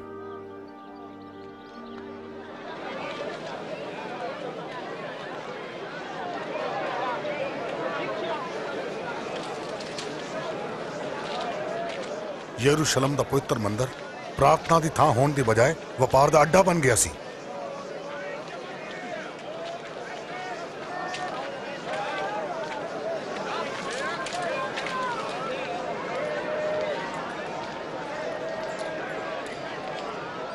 ਪੰਜ 6 7 8 9 10 11 12 13 14 15 16 17 18 19 20 21 22 23 24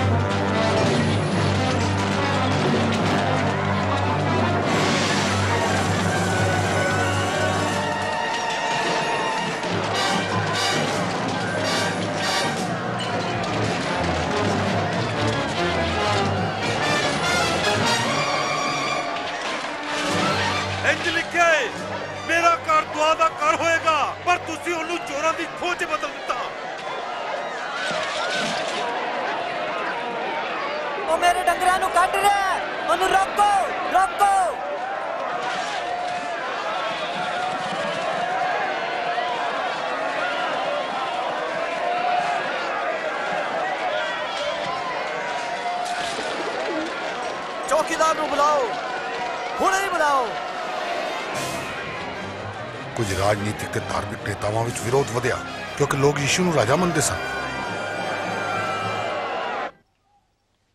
ਮੈਂ ਸਮਝਦਾ ਹਾਂ ਕਿ ਬਥੇਰੇ ਨੇ ਉਹਨੂੰ ਆਪਣਾ ਬਾਦਸ਼ਾਹ ਮੰਨ ਲਿਆ ਹੈ। ਬਾਦਸ਼ਾਹ? ਭੀਖ ਮੰਗੇ ਵੈਸ਼ੀਆਂ ਤੇ ਚੋਰਾਂ ਦਾ ਬਾਦਸ਼ਾਹ? ਇਹੋ ਜਿਹੇ ਬਥੇਰੇ ਵੇਖੇ। ਉਹ ਆਂਦੇ ਨੇ ਹੱਕ ਜਤਾਉਂਦੇ ਨੇ ਤੇ ਚਲੇ ਜਾਂਦੇ ਨੇ ਤੇ ਲੋਕੀ ਭੁੱਲ ਜਾਂਦੇ ਨੇ। ਅੰਨੇ ਨਾ ਬਣੋ ਦਿਨ ਬ ਦਿਨ ਉਹਦੇ ਜਿਹੜੇ ਵੱਧਦੇ ਜਾਂਦੇ ਹਨ। ਲੋਕੀ ਉਹਦੀ ਤਾਰੀਫ ਕਰਦੇ ਨੇ। ਅਤੇ ਸੋਚਦੇ ਨੇ ਬਾਦਸ਼ਾਹ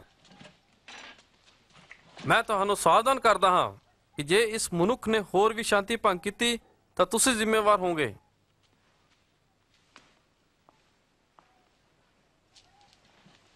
ਬੇਸ਼ੱਕ ਉਹ ਠੀਕ ਹੈ ਹੁਣ ਮੌਕਾ ਗਲੀਲੀਆਂ ਦਾ ਸਾਹਮਣਾ ਕਰਨ ਲਈ। ਜਿਉਂ ਜੋ ਫਰੀਸੀਆਂ ਤੇ ਸ਼ਾਸਤਰੀਆਂ ਦੇ ਪਖੰਡੀ ਦਲ ਯਿਸੂ ਦੇ ਵਿਰੋਧ ਦਾ ਨਿਸ਼ਾਨਾ ਬਣੇ ਤਿਉਂ ਤਿਉਂ ਯਹੂਦੀਆਂ ਵਿੱਚ ਉਸਦੇ ਚੇਲੇ ਵੀ ਵਧਣ ਲੱਗੇ ਤੇ ਉਹਨਾਂ ਲੋਕਾਂ ਦਾ ਵਿਰੋਧ ਵੀ ਵਧਿਆ ਜਿਨ੍ਹਾਂ ਨੂੰ ਯੀਸ਼ੂ ਨੇ ਲਤਾੜਿਆ ਸੀ। ਯੀਸ਼ੂ ਨੇ ਮੰਦਰ ਵਿੱਚ ਇੱਕ ਗਰੀਬ ਵਿਧਵਾ ਔਰਤ ਨੂੰ ਦੋ ਤਾਂਬੇ ਦੇ ਸਿੱਕੇ ਦਾਨ ਕਰਦੇ ਵੇਖਿਆ। ਇਹ ਬਹੁਤ ਘੱਟ ਹੈ। ਕੀ ਤੂੰ ਬਹੁਤਾ ਨਹੀਂ ਦੇ ਸਕਦੀ? ਮੈਂ ਕਹਿੰਦਾ ਵਾਂ ਇਸ ਗਰੀਬ ਵਿਧਵਾ ਨੇ ਸਭ ਤੋਂ ਵੱਧ ਕੇ ਦਾਨ ਦਿੱਤਾ ਹੈ। ਕਿਉਂ ਜੇ ਹੋਰਾਂ ਨੇ ਆਪਣੇ ਬਚੇ ਹੋਏ ਧਨ ਚੋਂ ਦਾਨ ਦਿੱਤਾ ਹੈ? ਪਰ ਇਸ ਨੇ ਗਰੀਬ ਹੁੰਦਿਆਂ ਵੀ ਆਪਣੀ ਸਾਰੀ ਪੂੰਜੀ ਦੇ ਦਿੱਤੀ। ਸਾਨੂੰ ਦੱਸ ਇਹ ਸਭ ਕਹਿੰਦਾ ਤੈਨੂੰ ਕੀ ਹੱਕ ਹੈ? ਇਹ ਹੱਕ ਕਿਸ ਨੇ ਦਿੱਤਾ? ਮੈਂ ਤੁਹਾਨੂੰ ਇੱਕ ਸਵਾਲ ਪੁੱਛਣਾ। ਯੋਨਾ ਨੂੰ ਬਪਤਿਸਮਾ ਦੇਣ ਦਾ ਹੱਕ ਮਨੁੱਖ ਵੱਲੋਂ ਆਇਆ ਜਾਂ ਰੱਬ ਵੱਲੋਂ?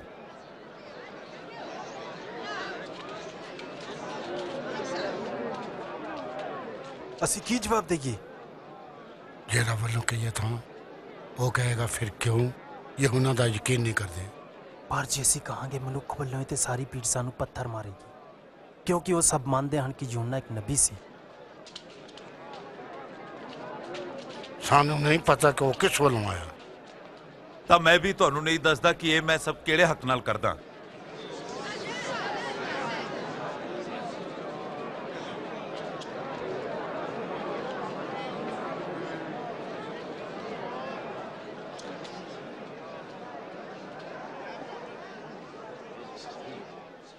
ਇੱਕ ਵਾਰੀ ਇੱਕ ਮਨੁੱਖ ਨੇ ਅੰਗੂਰਾਂ ਦਾ ਬਾਗ ਲਗਾਇਆ। ਉਹਨੂੰ ਠੇਕੇਦਾਰਾਂ ਨੂੰ ਦੇ ਕੇ ਤੇ ਆਪ ਲੰਮੇ ਅਰਸੇ ਲਈ ਬਾਹਰ ਚਲਾ ਗਿਆ। ਜਦੋਂ ਅੰਗੂਰ ਇਕੱਠਿਆ ਕਰਨ ਦਾ ਵੇਲਾ ਆਇਆ, ਤਾਂ ਇੱਕ ਕਰਿੰਦਾ ਠੇਕੇਦਾਰਾਂ ਕੋਲ ਭੇਜਿਆ ਕਿ ਠੇਕੇਦਾਰਾਂ ਤੋਂ ਫਸਲ ਦਾ ਆਪਣਾ ਹਿੱਸਾ ਲੈ ਆਵੇ। ਪਰ ਉਹਨਾਂ ਨੇ ਉਹਨੂੰ ਮਾਰਿਆ, ਕੁੱਟਿਆ ਤੇ ਖਾਲੀ ਹੱਥੀ ਮੋੜ ਦਿੱਤਾ। ਤਾਂ ਉਹਨੇ ਦੂਜਾ ਕਰਿੰਦਾ ਭੇਜਿਆ। ਠੇਕੇਦਾਰਾਂ ਉਹਨੂੰ ਵੀ ਮਾਰਿਆ ਅਤੇ ਸ਼ਰਮਨਾਕ ਸਲੂਕ ਕਰਕੇ ਵਾਪਸ ਖਾਲੀ ਹੱਥੀ ਮੋੜ ਦਿੱਤਾ। ਫਿਰ ਉਹਨੇ ਤੀਜੇ ਕਰਿੰਦੇ ਨੂੰ ਭੇਜਿਆ। ਠੇਕੇਦਾਰਾਂ ਨੇ ਉਹਨੂੰ ਜ਼ਖਮੀ ਕਰਕੇ ਬਾਗ ਚੋਂ ਬਾਹਰ ਸੁੱਟਤਾ। ਫਿਰ ਮਾਲਕ ਨੇ ਆਪਣੇ ਆਪ ਨੂੰ ਕਿਹਾ ਮੈਂ ਕੀ ਕਰਾਂ? ਮੈਂ ਆਪਣੇ ਲਾਡਲੇ ਪੁੱਤ ਨੂੰ ਭੇਜਾਂਗਾ। ਜ਼ਰੂਰ ਉਹ ਉਹਦਾ ਮਾਨ ਰੱਖਣਗੇ। ਠੇਕੇਦਾਰਾਂ ਨੇ ਉਹਨੂੰ ਆਉਂਦਿਆਂ ਵੇਖਿਆ ਤਾਂ ਆਪਸ ਚ ਕਹਿਣ ਲੱਗੇ ਇਹ ਤਾਂ ਜਾਇਦਾਦ ਸਾਡੀ ਹੋ ਜਾਏਗੀ। ਸਾਨੂੰ ਹੋਰ ਵੀ ਦੱਸੋ।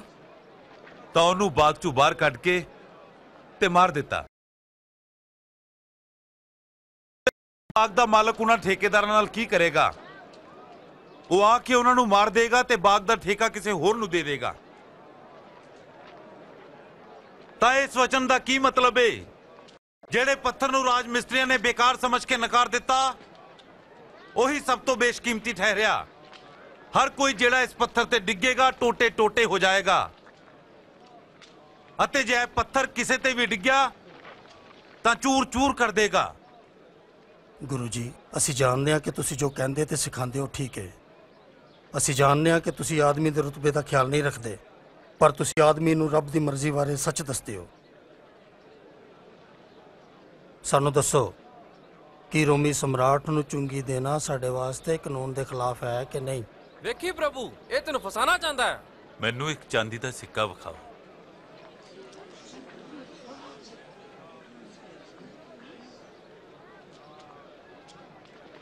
ਇਸ ਤੇ ਕਿਦਾ ਨਾਂ ਤੇ ਮੋਹਰ ਛਪੀ ਦੀਏ?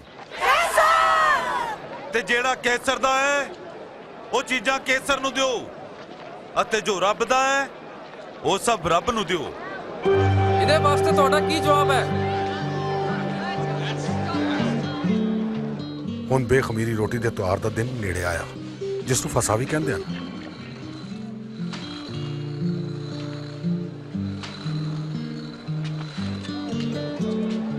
ਯੀਸ਼ੂ ਨੇ ਸ਼ਮੌਨ ਪਤਰਸ ਤੇ ਯਹੋਨਾ ਨੂੰ ਫਸਾ ਦਾ ਭੋਜਨ ਤਿਆਰ ਕਰਨ ਲਈ ਅੱਗੇ ਭੇਜਿਆ।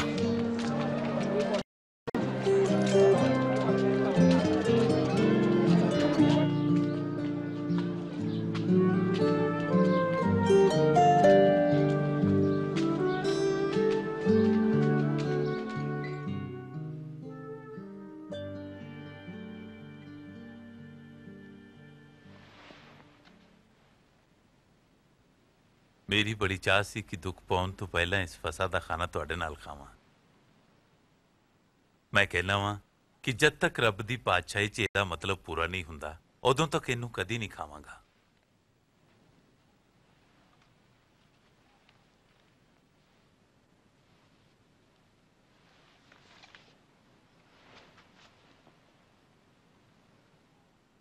ਧੰਨ ਨੇ ਤੂੰ ਉਹ ਪ੍ਰਭੂ ਸਾਡੇ ਰੱਬਾ ਸ੍ਰਿਸ਼ਟੀ ਦੇ ਪਾਤਸ਼ਾਹ ਜਿਹੜਾ ਤਾਕਤੀਆਂ ਟੈਨੀਆਂ ਚੋਂ ਫਲ ਲਿਆਉਂਦਾ ਹੈ।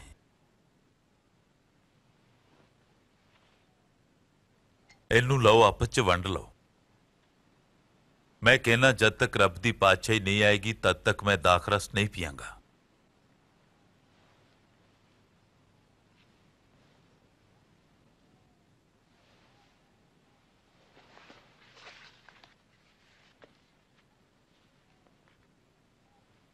ਧੰਨ ਤੂੰ ਉਹ ਪ੍ਰਭੂ ਸਾਡੇ ਰੱਬਾ ਸ੍ਰਿਸ਼ਟੀ ਦੇ ਪਾਤਸ਼ਾਹ ਜਿਹੜਾ ਧਰਤੀ ਤੇ ਅੰਨ ਉਗਾਨਾ ਹੈ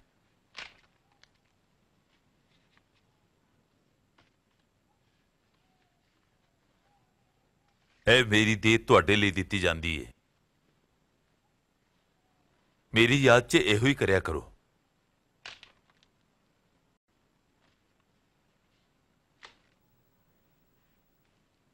ਇਹ ਕਟੋਰਾ ਮੇਰੇ ਲਹੂ 'ਚ ਨਵਾਂ ਵਾਦਾ ਏ, ਜਿਹੜਾ ਤੁਹਾਡੇ ਵਾਸਤੇ ਵਹਾਇਆ ਜਾਂਦਾ ਹੈ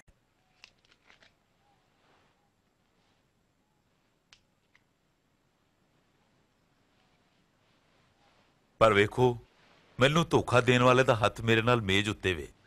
ਮਨੁੱਖ ਦੇ ਪੁੱਤ ਦੀ ਮੌਤ ਜ਼ਰੂਰੀ ਏ, ਜਿੱਦਾਂ ਰੱਬ ਨੇ ਠਹਿਰਾਇਆ ਹੈ ਪਰ ਹਾਏ ਉਹਦੇ ਤੇ ਜਿਹੜਾ ਉਹਨੂੰ ਧੋਖਾ ਦਿੰਦਾ ਹੈ ਨਹੀਂ ਹੋ ਸਕਦਾ। ਇਹ ਨਹੀਂ ਹੋ ਸਕਦਾ।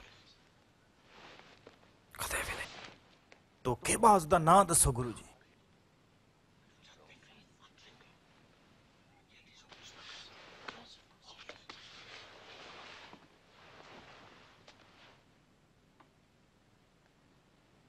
ਤੁਹਾਡੇ ਚ ਜਿਹੜਾ ਸਭ ਤੋਂ ਵੱਡਾ ਸਾਰਿਆਂ ਤੋਂ ਨਿੱਕੇ ਜਿਹਾ ਬਣੇ।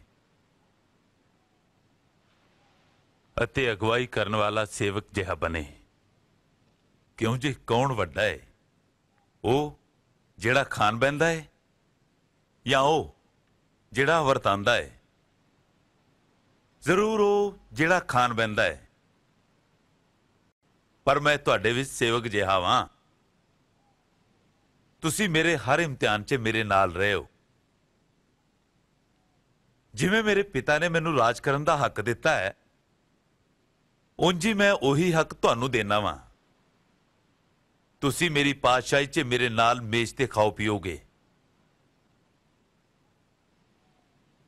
ਅਤੇ ਇਜ਼ਰਾਈਲ ਦੇ 12 ਗੋਤਰਾਂ ਤੇ ਰਾਜ ਕਰਨ ਲਈ ਸਿੰਘਾਸਨ ਤੇ ਬੈਠੋਗੇ। ਫਿਰ ਤਾਂ ਕੋਈ ਧੋਖੇਬਾਜ਼ ਨਹੀਂ।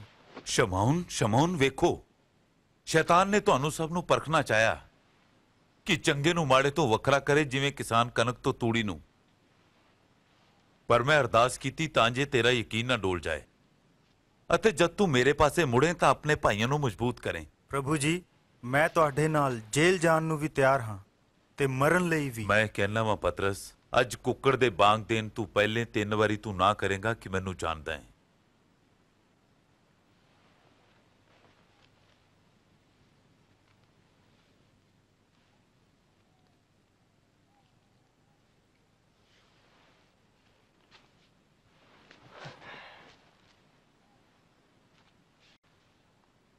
ਜਦੋਂ ਮੈਂ ਬਿਨਾ ਬਟੂਏ ਝੋਲੇ ਤੇ ਜੁੱਤੀਆਂ ਦੇ ਭੇਜਿਆ ਤਾਂ ਕੋਈ ਕਮੀ ਆਈ? ਨਹੀਂ ਕੁਝ ਵੀ ਨਹੀਂ। ਪਰ ਹੁਣ ਜਿਹਦੇ ਕੋਲ ਬਟੂਆ ਜਾਂ ਝੋਲਾ ਹੈ ਉਹ ਉਹਨੂੰ ਲੈ ਲਵੇ। ਜਿਹਦੇ ਕੋਲ ਤਲਵਾਰ ਨਹੀਂ ਹੈ ਉਹ ਆਪਣੇ ਲੀੜੇ ਵੇਚ ਕੇ ਖਰੀਦ ਲਵੇ। ਮੈਂ ਕਹਿਣਾ ਵਾਂ ਸ਼ਾਸਤਰਾਂ ਵਿੱਚ ਲਿਖਿਆ ਹੈ ਕਿ ਉਹ ਪਾਪੀਆਂ 'ਚ ਗਿਣਿਆ ਗਿਆ। ਤੇ ਮੇਰੇ ਬਾਰੇ ਜੋ ਲਿਖਿਆ ਉਹ ਸੱਚ ਠਹਿਰ ਰਿਹਾ ਹੈ। ਵੇਖੋ ਇੱਥੇ ਦੋ ਛੁਰੇ ਨੇ ਪ੍ਰਭੂ।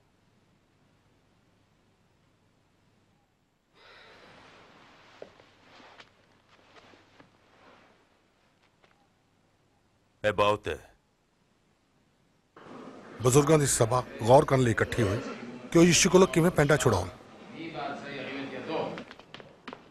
ਤਦ ਸ਼ੈਤਾਨ ਯਹੂਦਾ ਇਸਕਰੀਓਤੇ ਵਿੱਚ ਦਾਖਲ ਹੋਇਆ, ਜਿਹੜਾ 12 ਵਿੱਚੋਂ ਇੱਕ ਸੀ। ਉਹਨੇ ਬਜ਼ੁਰਗਾਂ ਨਾਲ ਰਲ ਕੇ ਯਿਸੂ ਨੂੰ ਫੜਾਉਣ ਦੀ ਯੋਜਨਾ ਬਣਾਈ। ਯਿਸੂ ਯਰੂਸ਼ਲਮ ਛੱਡ ਕੇ ਜੈਤੂਨ ਪਹਾੜ ਤੇ ਪ੍ਰਾਰਥਨਾ ਕਰਨ ਗਿਆ।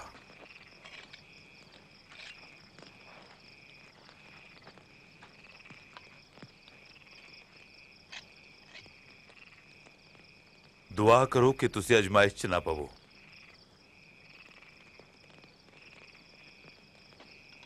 ਯਹੂਦਾ ਇਸਕਰੀਓਤੀ ਨੇ ਯੀਸ਼ੂ ਨੂੰ ਚਾਂਦੀ ਦੇ ਸਿਰਫ 30 ਸਿੱਕਿਆਂ ਬਦਲੇ ਫੜਵਾ ਦਿੱਤਾ ਯੀਸ਼ੂ ਨੂੰ ਪਤਾ ਸੀ ਕਿ ਉਸ ਦੀ ਮੌਤ ਦੀ ਘੜੀ ਜਿਹੜੀ ਸਾਰੀ ਮਾਨਵ ਜਾਤੀ ਲਈ ਹੋਵੇਗੀ ਆ ਪਹੁੰਚੀ ਹੈ ਅਤੇ ਉਸਨੇ ਪ੍ਰਾਰਥਨਾ ਕੀਤੀ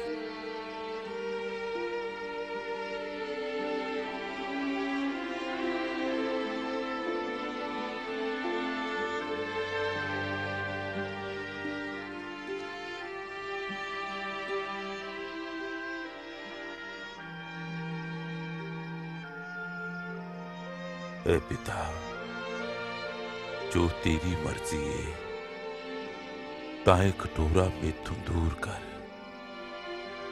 ਤਾਂ ਵੀ ਮੇਰੀ ਨਹੀਂ ਤੇਰੀ ਮਰਜ਼ੀ ਪੂਰੀ ਹੋਏ ਤੇ ਅਸਮਾਨ ਤੋਂ ਇੱਕ ਫਰਿਸ਼ਤਾ ਉਸ ਨੂੰ ਬਲ ਦੇਣ ਵਾਸਤੇ ਪ੍ਰਗਟ ਹੋਇਆ। ਉਸ ਦਾ ਪਸੀਨਾ ਧਰਤੀ ਤੇ ਇਉਂ ਡਿੱਗਦਾ ਸੀ ਜਿਵੇਂ ਲਹੂ ਦੀਆਂ ਮੋਟੀਆਂ-ਮੋਟੀਆਂ ਬੂੰਦਾਂ।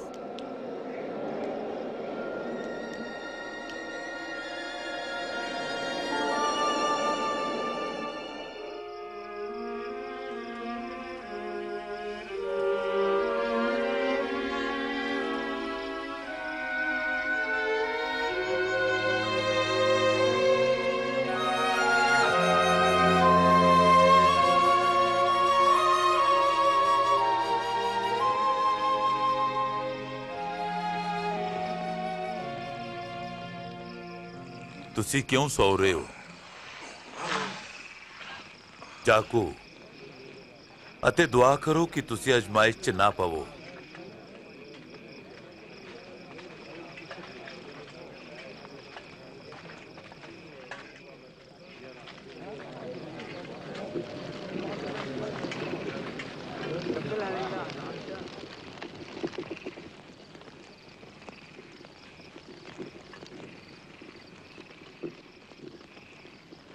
ਯਹੂਦਾ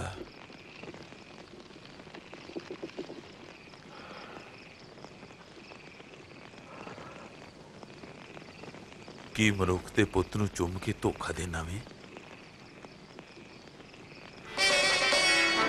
ਪ੍ਰਭੂ ਕੀ ਅਸੀਂ ਤਲਵਾਰ ਚਲਾਈਏ?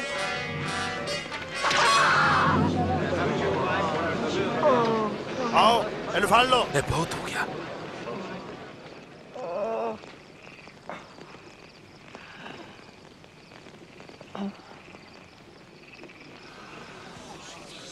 ਚਮਤਕਾਰ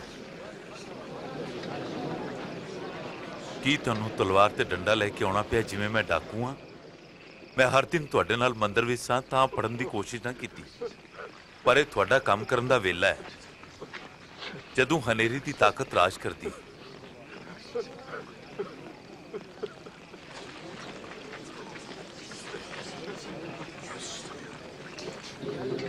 ਇਹਨੂੰ ਫੜ ਲਓ।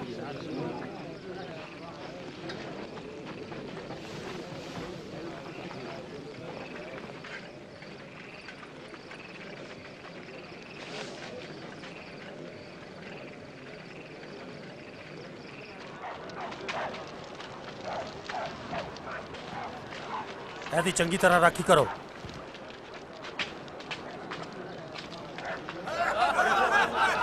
ਸਿਪਾਹੀ ਉਹਨੂੰ ਵਿਹੜੇ ਵਿੱਚ ਲੈ ਗਏ ਤੇ ਯਹੂਦੀਆਂ ਦਾ ਬਾਦਸ਼ਾਹ ਕਹਿ ਕੇ ਉਹਦਾ ਮਖੌਲ ਉਡਾਇਆ ਇਹ ਇੱਕ ਬਾਦਸ਼ਾਹ ਦਾ ਚੋਲਾ ਹੈ। ਸਾਨੂੰ ਦੱਸ ਕੀ ਹੋਣ ਵਾਲਾ ਹੈ? ਤੂੰ ਸਾਨੂੰ ਬਚਾਏਗਾ? ਤੇਰੀ ਸ਼ਾਨ। ਕਿ ਤੂੰ ਸਾਨੂੰ ਬਚਾਏਗਾ? ਮਨੁੱਖ ਵੀ ਯੀਸ਼ੂ ਦੇ ਨਾਲ ਸੀ।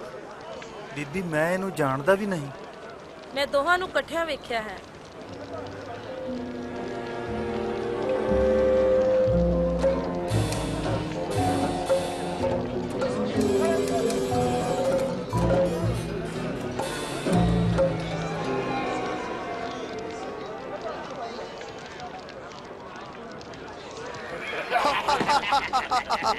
ਤੁਹਾਡੇ ਧੀਨ ਨੌਕਰ। ਕਿਸੇ ਵੱਲ ਵੇਖਣਾ ਕੈਸਾ ਲੱਗਦਾ? ਹੂੰ ਤੂੰ ਵੀ ਉਹਨਾਂ ਚੋਂ ਇੱਕ ਹੈ। ਉਹ ਮੈਂ ਨਹੀਂ ਹਾਂ।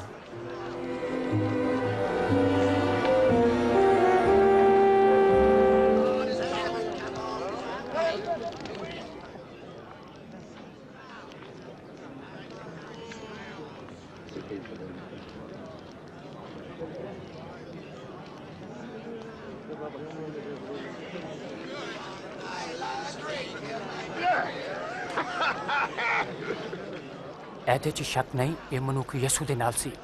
ਇਹਦੇ ਇਲਾਵਾ ਇਹ ਗਲੀਲੀ ਹੈ। ਜਾ ਛੱਡ। ਮੈਨੂੰ ਨਹੀਂ ਪਤਾ ਕਿ ਤੁਸੀਂ ਕੀ ਆਖਦੇ ਹੋ।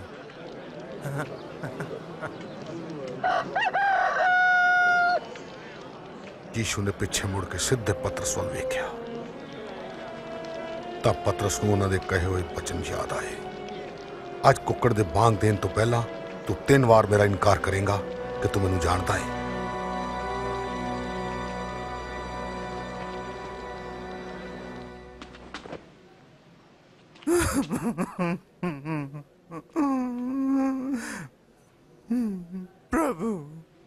ਅਸੀਂ ਬੇਨਤੀ ਕਰਦੇ ਤੂੰ ਆਪਣੀ ਸਾਮਰਥ ਤੇ ਮਾਤਾ ਅਨੁਸਾਰ ਕੰਮ ਕਰ। ਪ੍ਰਭੂ, ਜਦ ਸਾਡੇ ਬਾਪ ਦਾਦਿਆਂ ਨੇ ਤੇਰੇ ਵਚਨ ਦਾ ਵਿਰੋਧ ਕੀਤਾ, ਤਦ ਤੂੰ ਕ੍ਰੋਧਿਤ ਹੋ ਕੇ ਉਹਨਾਂ ਦਾ ਨਾਸ਼ ਨਾ ਕੀਤਾ। ਆਪਣੇ ਵਿਸ਼ਵਾਸ ਯੋਗਤਾ ਤੇ ਵਚਨ ਲਈ ਉਹਨਾਂ ਦਾ ਬੱਚਾ ਕੀਤਾ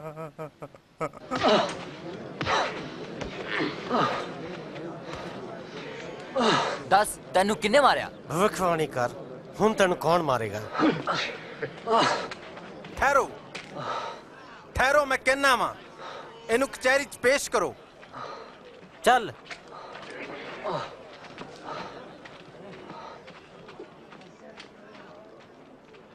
ਯੀਸ਼ੂ ਨੂੰ ਸਵਾਲ ਪੁੱਛਣ ਲਈ ਧਾਰਮਿਕ ਨੇਤਾਵਾਂ ਦੀ ਸਭਾ ਇਕੱਠੀ ਹੋਈ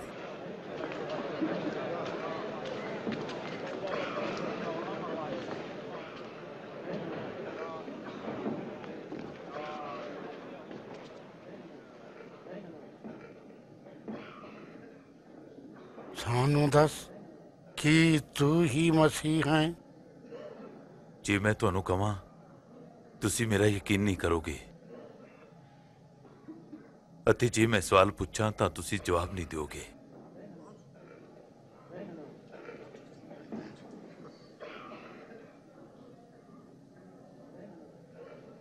ਅਤੇ ਹੁਣ ਤੋਂ ਲੈ ਕੇ ਮਨੁੱਖ ਦਾ ਪੁੱਤ ਸਰਵ ਸ਼ਕਤੀਮਾਨ ਰੱਬ ਦੇ ਸੱਜੇ ਹੱਥ ਬੈਠੇਗਾ। ਤੇ ਕੀ ਤੂੰ ਰੱਬ ਦਾ ਪੁੱਤ ਹੈ? ਤੁਸੀਂ ਕਹਿੰਦੇ ਹੋ ਕਿ ਮੈਂ ਹਾਂ।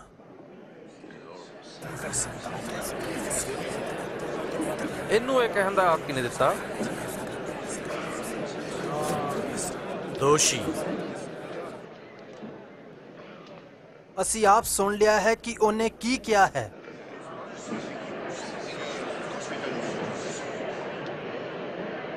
ਅਸੀਂ ਇਹਨੂੰ ਪਿਲਾਤੁਸ ਕੋਲ ਲੈ ਜਾਂਦੇ ਹਾਂ। ਹਾਂ ਹਾਂ ਇਹਨੂੰ ਦੂਰ ਕਰੋ।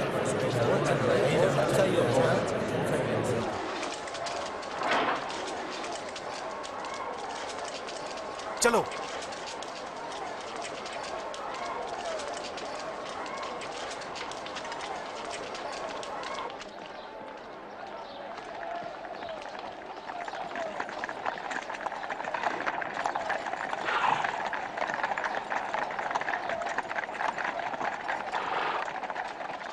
ਫਿਰ ਉਸ ਨੂੰ ਪੈਂਤੁਸ ਪਿਲਾਤੂਸ ਦੇ ਸਾਹਮਣੇ ਲੈ ਗਏ ਜੋ ਰੋਮੀ ਬਾਦਸ਼ਾਹਾਂ ਵਿੱਚੋਂ ਸਭ ਤੋਂ ਜ਼ਾਲਿਮ ਤੇ ਹਜ਼ਾਰਾਂ ਨੂੰ ਸਲੀਬ ਦੇਣ ਲਈ ਕੱਲਾ ਜ਼ਿੰਮੇਵਾਰ ਸੀ। ਤੁਸੀਂ ਸਵੇਰੇ ਸਵੇਰੇ ਮੈਥੋਂ ਕੀ ਚਾਹੁੰਦੇ ਹੋ? ਅਸੀਂ ਇਸ ਮਨੁੱਖ ਨੂੰ ਲੋਕਾਂ ਨੂੰ ਵਰਗਲਾਉਂਦਿਆਂ ਫੜਿਆ ਹੈ। ਇਸ ਨੇ ਮੰਦਿਰ ਦੇ ਬਾਜ਼ਾਰ ਵਿੱਚ ਖਲਬਲ ਮਚਾ ਦਿੱਤੀ ਹੈ ਇਹਨੂੰ ਕੀ ਸਜ਼ਾ ਹੋਊਗੀ? ਇਹਨੂੰ ਦੰਡ ਦਿਓ। ਮੈਂ ਇਸ ਮਨੁੱਖ ਵਿੱਚ ਕੋਈ ਗਲਤੀ ਨਹੀਂ ਵੇਖਦਾ। ਅਸੀਂ ਇਹਦੇ 'ਚ ਦੋਸ਼ ਵੇਖਿਆ ਹੈ। ਸਮਰਾਟ ਨੂੰ ਚੁੰਗੀ ਦੇਣ ਤੋਂ ਮਨਾ ਕਰਦਾ ਹੈ। ਆਪੂ ਮਸੀਹ ਹੋਣ ਦਾ ਦਾਵਾ ਕਰਦਾ ਹੈ। ਇੱਕ ਰਾਜਾ ਇੱਕ ਰਾਜਾ? ਕੀ ਤੂੰ ਯਹੂਦੀਆਂ ਦਾ ਰਾਜਾ ਏ ਤੁਸੀਂ ਇੰਜ ਕਹਿੰਦੇ ਹੋ।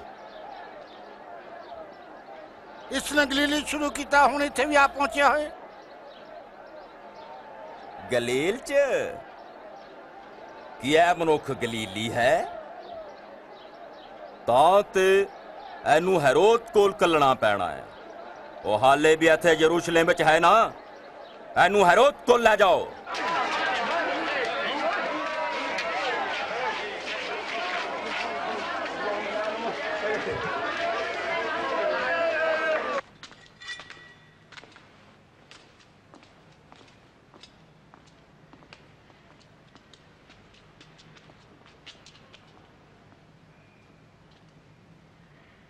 तो अपने आप ਨੂੰ ਕੀ ਕਹਿਣਾ ਹੈ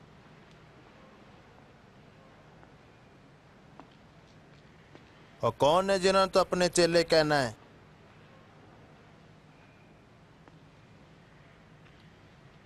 ਬੜੇ ਲੋਕ ਕਹਿੰਦੇ ਨੇ ਤੂੰ ਕਰਾਮਾਤ ਕਰਨਾ ਹੈ।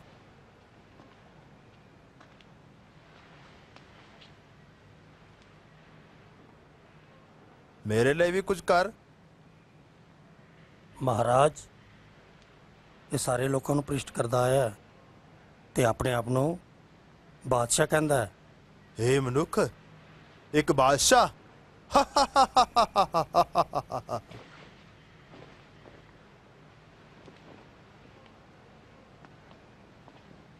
ਏ ਬਾਦਸ਼ਾਹ।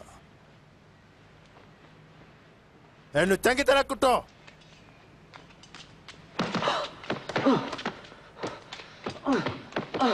ਇਹਨੂੰ ਪਿਲਾਤੂਸ ਕੋਲ ਲੈ ਜਾਓ। ਇਹ ਉਹਦੇ ਇਲਾਕੇ ਦਾ ਹੈ।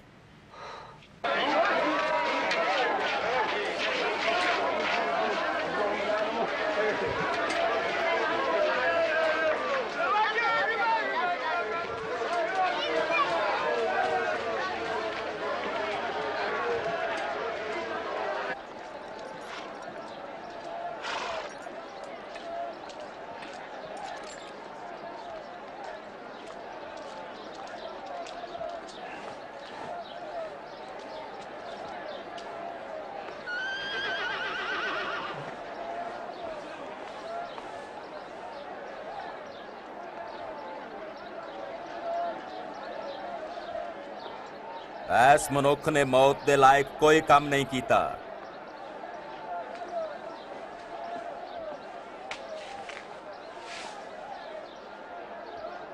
ਐਸ ਲਈ ਮੈਂ ਇਹਨੂੰ ਕੋੜੇ ਮਰਵਾ ਕੇ ਛੱਡ ਦੇਣਾ ਹਾਂ। ਰਿਵਾਜ ਦੇ ਮੁਤਾਬਕ ਇਸ ਤਵਾਰ ਤੇ ਸਾਡੇ ਲਈ ਇੱਕ ਕੈਦੀ ਨੂੰ ਛੱਡਣਾ ਤੁਹਾਡਾ ਫਰਜ਼ ਬਣਦਾ ਹੈ। ਸਾਡੇ ਲਈ ਛੱਡ ਦੇ ਬਰੱਬਾ ਨੂੰ। ਹਾਂ, ਬਰੱਬਾ। ਤੇ ਇਸ ਆਦਮੀ ਨੂੰ ਸਲੀਬ ਦੇ।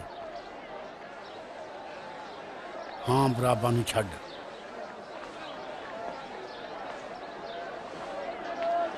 ਸਲੀਬ ਦੇ ਇਹਨੂੰ ਸਲੀਪ ਦਿਓ ਤੂੰ ਤੂੰ ਇਹਨੂੰ ਕੋੜੇ ਮਾਰ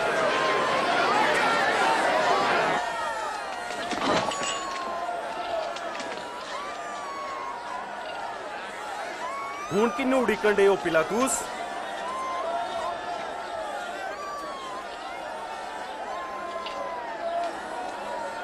ਐ ਯਸੂਏ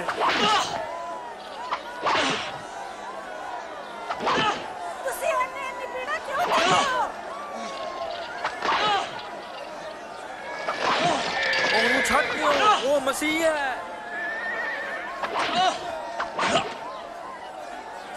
ਉਸਨੇ ਕੁਝ ਨਹੀਂ ਕੀਤਾ।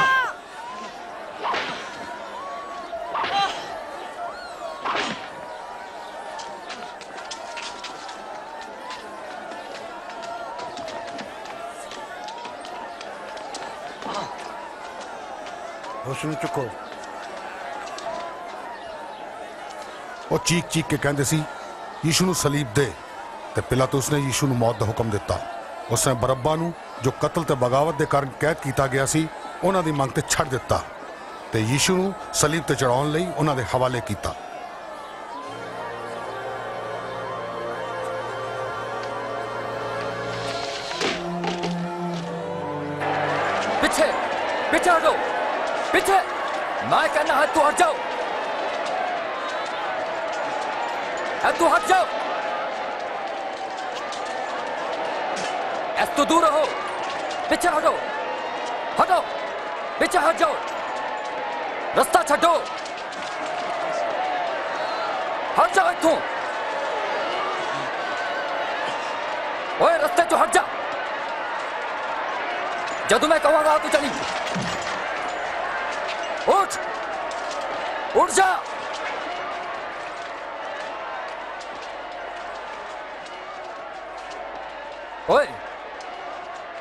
ਕੀ ਨਾਂ ਹੈ ਤੇਰਾ ਕੁਰੇਨ ਦਾ ਸ਼ਮਾਉਨ ਜਨਾਬ ਚੱਲ ਇੱਧਰ ਆ ਜਾ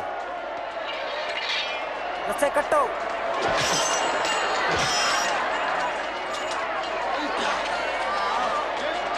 ਤੂੰ ਇਹਨੂੰ ਚੁੱਕ ਆ ਚੱਲ ਪਿੱਛੇ ਪਿੱਛੇ ਇਹਨੂੰ ਛੱਡ ਦੇ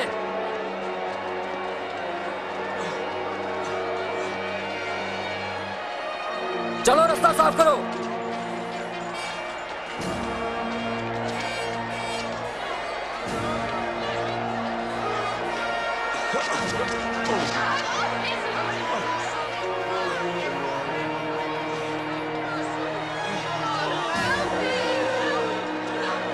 ਉੱਥੋਂ ਪਿੱਛੇ ਹਟੋ। ਹਟੋ।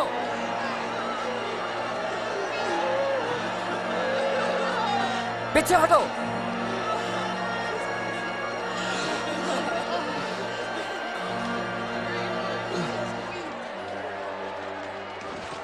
ਅਸੀਂ ਤੇਰੇ ਲਈ ਰੋਂਦੀਆਂ ਹਾਂ ਵਿਲਾਪ ਕਰਦੀਆਂ ਹਾਂ। ਇਸ ਨੂੰ ਪੀ ਲੈ ਪੀ ਲੈ। ਪ੍ਰਭੂ ਪੀ ਲੈ। ਯਰੂਸ਼ਲਮ ਦੀ ਬੀਬੀਓ ਮੇਰੇ ਵਾਸਤੇ ਨਾ ਰੋਵੋ ਪਰ ਆਪਣੇ ਤੇ ਆਪਣੇ ਬੱਚਿਆਂ ਲਈ ਰੋਵੋ। ਕਿਉਂਕਿ ਜਦ ਬੂਟਾ ਹਰਾਵੇ ਤਾਂ ਉਸ ਨਾਲ ਇੰਜ ਕਰਦੇ ਨੇ ਤਾਂ ਸੁੱਕੇ ਨਾਲ ਕੀ ਨਹੀਂ ਕਰਨਗੇ। ਰੱਬ ਤੇਰੀ ਮਦਦ ਕਰੇ। ਅਸੀਂ ਤੁਹਾਡੇ ਲਈ ਦੁਆ ਕਰਾਂਗੇ।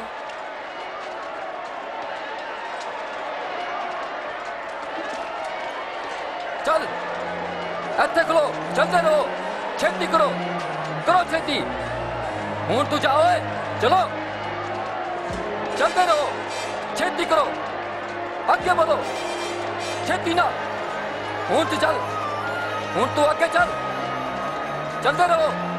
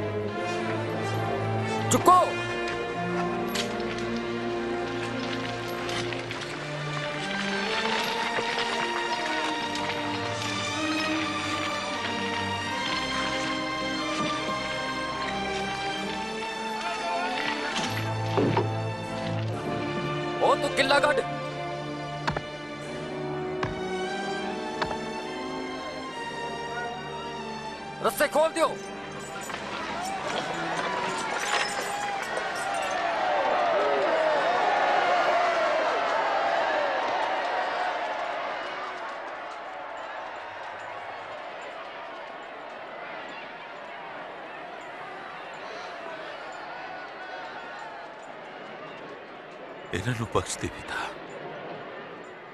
ਕਿਉਂਕਿ ਇਹ ਨਹੀਂ ਜਾਣਦੇ ਕਿ ਇਹ ਕੀ ਕਰਦੇ ਨੇ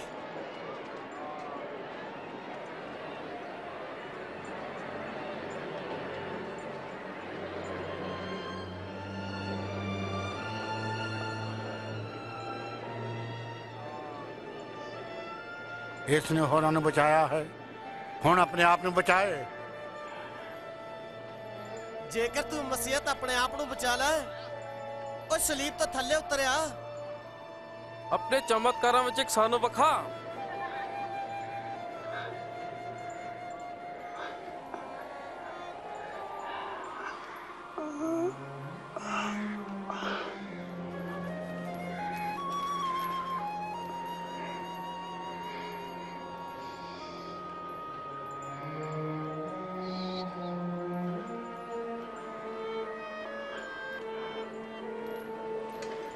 ਯੀਸ਼ੂ ਨੂੰ ਦੋ ਡਾਕੂਆਂ ਵਿਚਕਾਰ ਸਲੀਬ ਤੇ ਟੰਗਿਆ ਗਿਆ।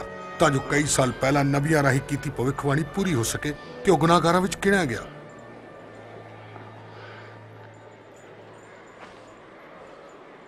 ਇਹ ਕੋਈ ਮਾਮੂਲੀ ਬੰਦੇ ਦਾ ਕੱਪੜਾ ਨਹੀਂ ਹੈ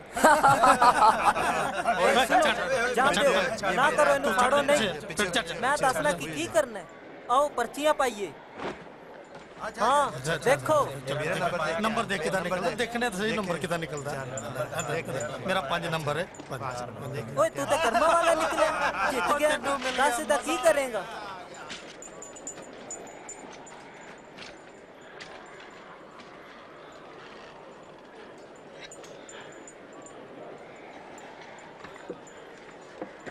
ਤੇ ਉਸ ਦੇ ਸਿਰ ਉੱਤੇ ਇੱਕ ਫੱਟੀ ਲਗਾ ਦਿੱਤੀ ਜਿਸ ਤੇ ਲਿਖਿਆ ਸੀ ਇਹ ਯਹੂਦੀਆਂ ਦਾ ਬਾਦਸ਼ਾਹ ਹੈ।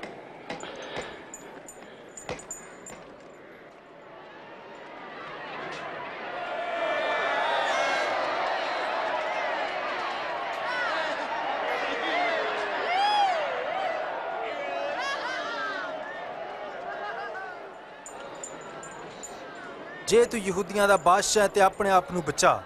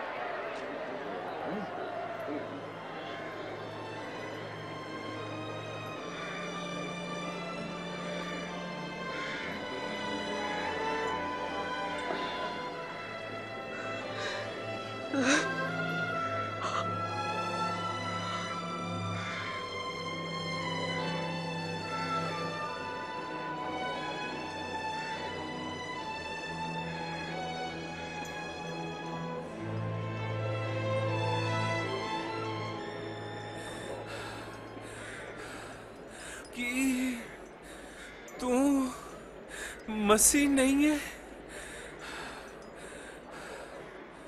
ਫਿਰ ਆਪਣੇ ਆਪ ਨੂੰ ਤੇ ਸਾਨੂੰ ਵੀ ਬਚਾ। ਕੀ ਤੈਨੂੰ ਰੱਬ ਦਾ ਡਰ ਨਹੀਂ? ਇਹਨੂੰ ਵੀ ਉਹੀ ਸਜ਼ਾ ਮਿਲੀ, ਜਿਹੜੀ ਸਾਨੂੰ। ਪਰ ਇਹਨੇ ਕੋਈ ਗਲਤੀ ਨਹੀਂ ਕੀਤੀ।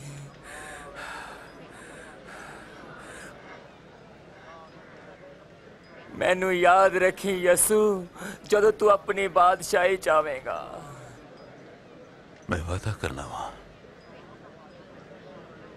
ਅੱਛੀ ਤੂੰ ਮੇਰੇ ਨਾਲ ਸਵਰਗ ਚ ਹੋਵੇਗਾ।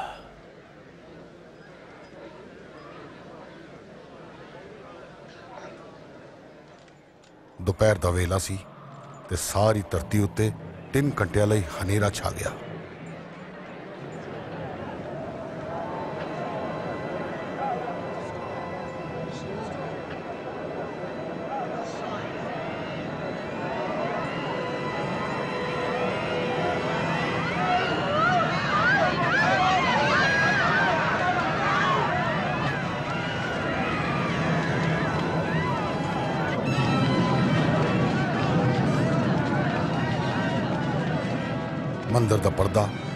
ਕੇ ਥੱਲੇ ਤੱਕ ਵਿੱਚੋਂ ਵਿੱਚ ਫਟ ਗਿਆ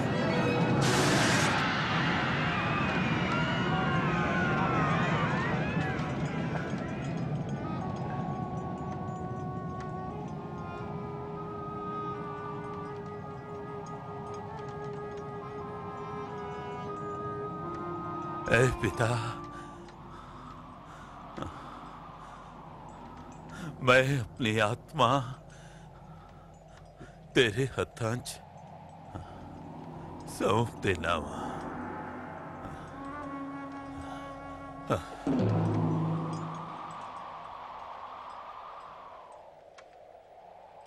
ਸਿਪਾਹੀਆਂ ਦੇ ਸਰਦਾਰ ਨੇ ਇਹ ਵੇਖ ਕੇ ਰੱਬ ਦੀ ਵਡਿਆਈ ਕਰਦੇ ਕਿਹਾ ਰੱਬ ਦੀ ਤਾਰੀਫ ਹੋਵੇ।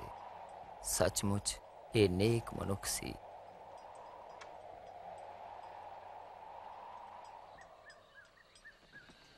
ਅਰਮਤੀਆ ਦਾ ਯੂਸਫ ਧਾਰਮਿਕ ਸਭਾ ਦਾ ਨੇਕ ਸਦੱਸ ਸੀ, ਜਿਹੜਾ ਇਸ ਫੈਸਲੇ ਤੋਂ ਸਹਿਮਤ ਨਹੀਂ ਸੀ।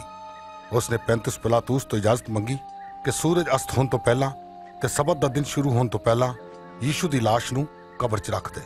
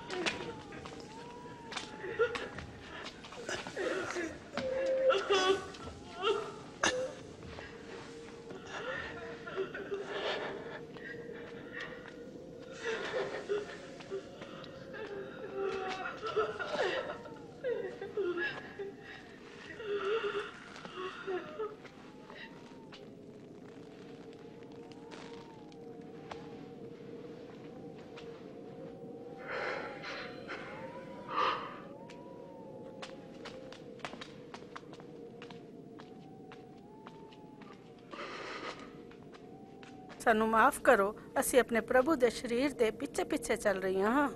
ਸਾਰਿਆਂ ਨੂੰ ਜੀ ਆਇਆਂ, ਪਰ ਚਲਿਏ, ਸਭ ਦਾ ਦਿਨ ਆਉਣ ਵਾਲਾ ਹੈ।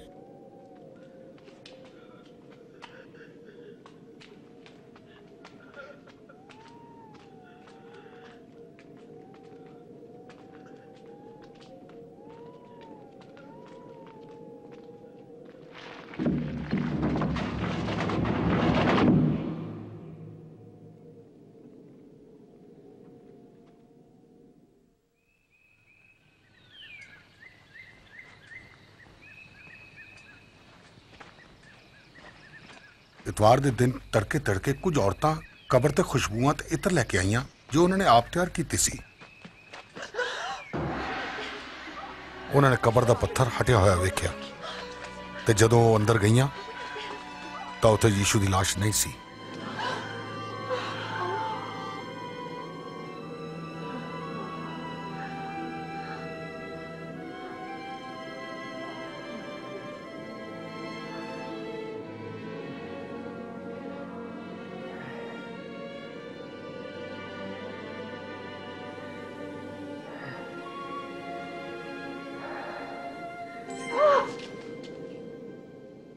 ਤੁਸੀਂ ਜਿਉਂਦੇ ਨੂੰ ਮੁਰਦਿਆਂ 'ਚ ਕਿਉਂ ਲੱਭ ਰਹੇ ਹੋ? ਉਹ ਇੱਥੇ ਨਹੀਂ ਹੈ ਪਰ ਜੀ ਉੱਠਿਆ ਏ। ਯਾਦ ਕਰੋ ਜਦੋਂ ਉਹ ਗਲੀਲ ਵੀ ਸੀ ਤੇ ਕੀ ਕਿਹਾ ਸੀ? ਮਨੁੱਖ ਦਾ ਪੁੱਤ ਪਾਪੀਆਂ ਦੇ ਹੱਥਾਂ 'ਚ ਦਿੱਤਾ ਜਾਵੇਗਾ, ਸਲੀਬ ਤੇ ਟੰਗਿਆ ਜਾਵੇਗਾ ਤੇ ਤੀਜੇ ਦਿਨ ਜੀ ਉੱਠੇਗਾ।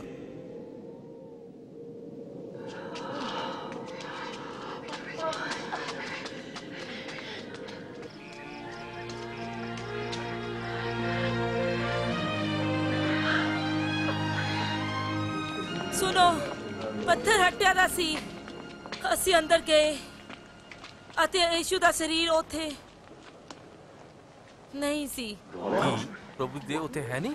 ਤੇ ਦੋ ਮਨੁੱਖ ਅਸੀਂ ਵੇਖੇ ਫਰਿਸ਼ਤੇ ਚਮਕਦੇ ਸੂਰਜ ਵਾਂਗ ਤੇ ਸਾਨੂੰ ਕਹਿਣ ਲੱਗੇ ਤੁਸੀਂ ਜ਼ਿੰਦੇ ਨੂੰ ਮੁਰਦਿਆਂ ਚ ਕਿਉਂ ਢੂੰਡਦੇ ਹੋ? ਇਹ ਸੱਚ ਹੈ। ਸਾਡਾ ਵਿਸ਼ਵਾਸ ਕਰੋ। ਵਿਸ਼ਵਾਸ ਕਰੋ। ਅਸੀਂ ਉਹਨਾਂ ਨੂੰ ਵੇਖਿਆ। ਤੁਸੀਂ ਆਪੇ ਜਾ ਕੇ ਵੇਖ ਲਓ। ਕਬਰ ਖਾਲੀ ਸੀ ਤੇ ਪ੍ਰਭੂ ਦੀ ਲੋਤ ਉੱਥੇ ਨਹੀਂ ਸੀ। ਪਤਰਸ, ਤੂੰ ਸਾਡਾ ਵਿਸ਼ਵਾਸ ਕਰ।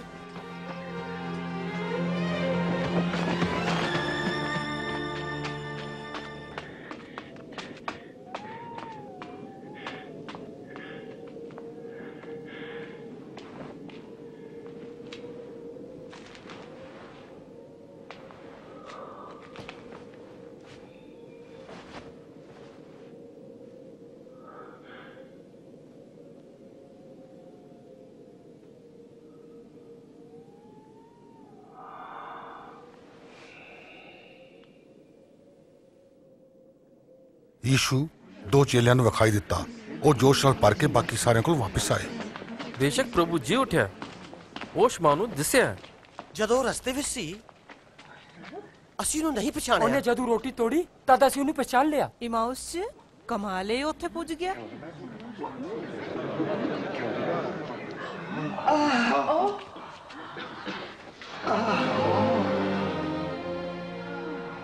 ਤੁਹਾਨੂੰ ਸ਼ਾਂਤੀ ਮਿਲੇ ਤੁਸੀਂ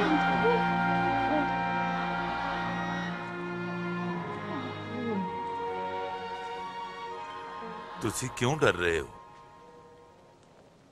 ਤੁਹਾਡੇ ਦਿਮਾਗਾਂ 'ਚ ਇਹ ਸ਼ੱਕ ਕਿਉਂ ਆਉਂਦਾ ਹੈ?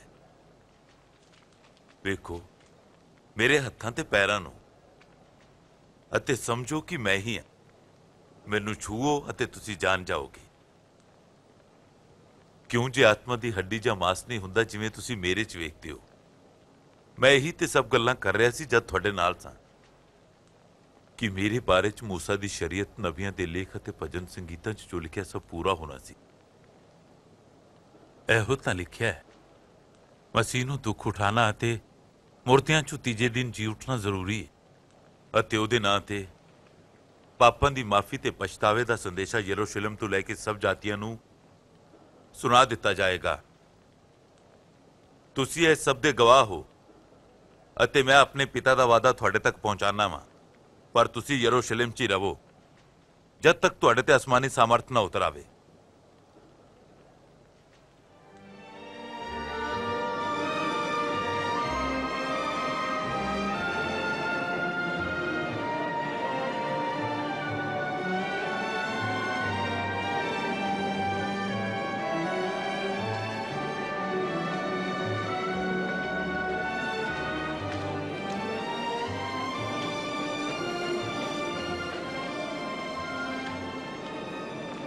ਰੱਬ ਤੁਹਾਨੂੰ ਬਰਕਤ ਦੇਵੇ ਤੇ ਸੰਭਾਲੇ। ਧਰਤੀ ਤੇ ਆਕਾਸ਼ ਦਾ ਕੁੱਲ ਇਖਤਿਆਰ ਮੈਨੂੰ ਦਿੱਤਾ ਗਿਆ ਹੈ। ਇਸ ਲਈ ਜਾਓ, ਸਾਰੀ ਜਾਤੀਆਂ ਨੂੰ ਚੇਲੇ ਬਣਾਓ। ਪਿਤਾ, ਪੁੱਤਰ ਅਤੇ ਪਵਿੱਤਰ ਆਤਮਾ ਦੇ ਨਾਂ ਤੇ ਉਹਨਾਂ ਨੂੰ ਬਪਤਿਸਮਾ ਦਿਓ। ਜੋ ਹੁਕਮ ਮੈਂ ਤੁਹਾਨੂੰ ਦਿੱਤਾ ਹੈ, ਮੰਨਣਾ ਸਿਖਾਓ ਅਤੇ ਵੇਖੋ, ਜਗਤ ਦੇ ਆਖਰ ਤੱਕ ਮੈਂ ਤੁਹਾਡੇ ਨਾਲ ਵਾਂ। ਆਮੀਨ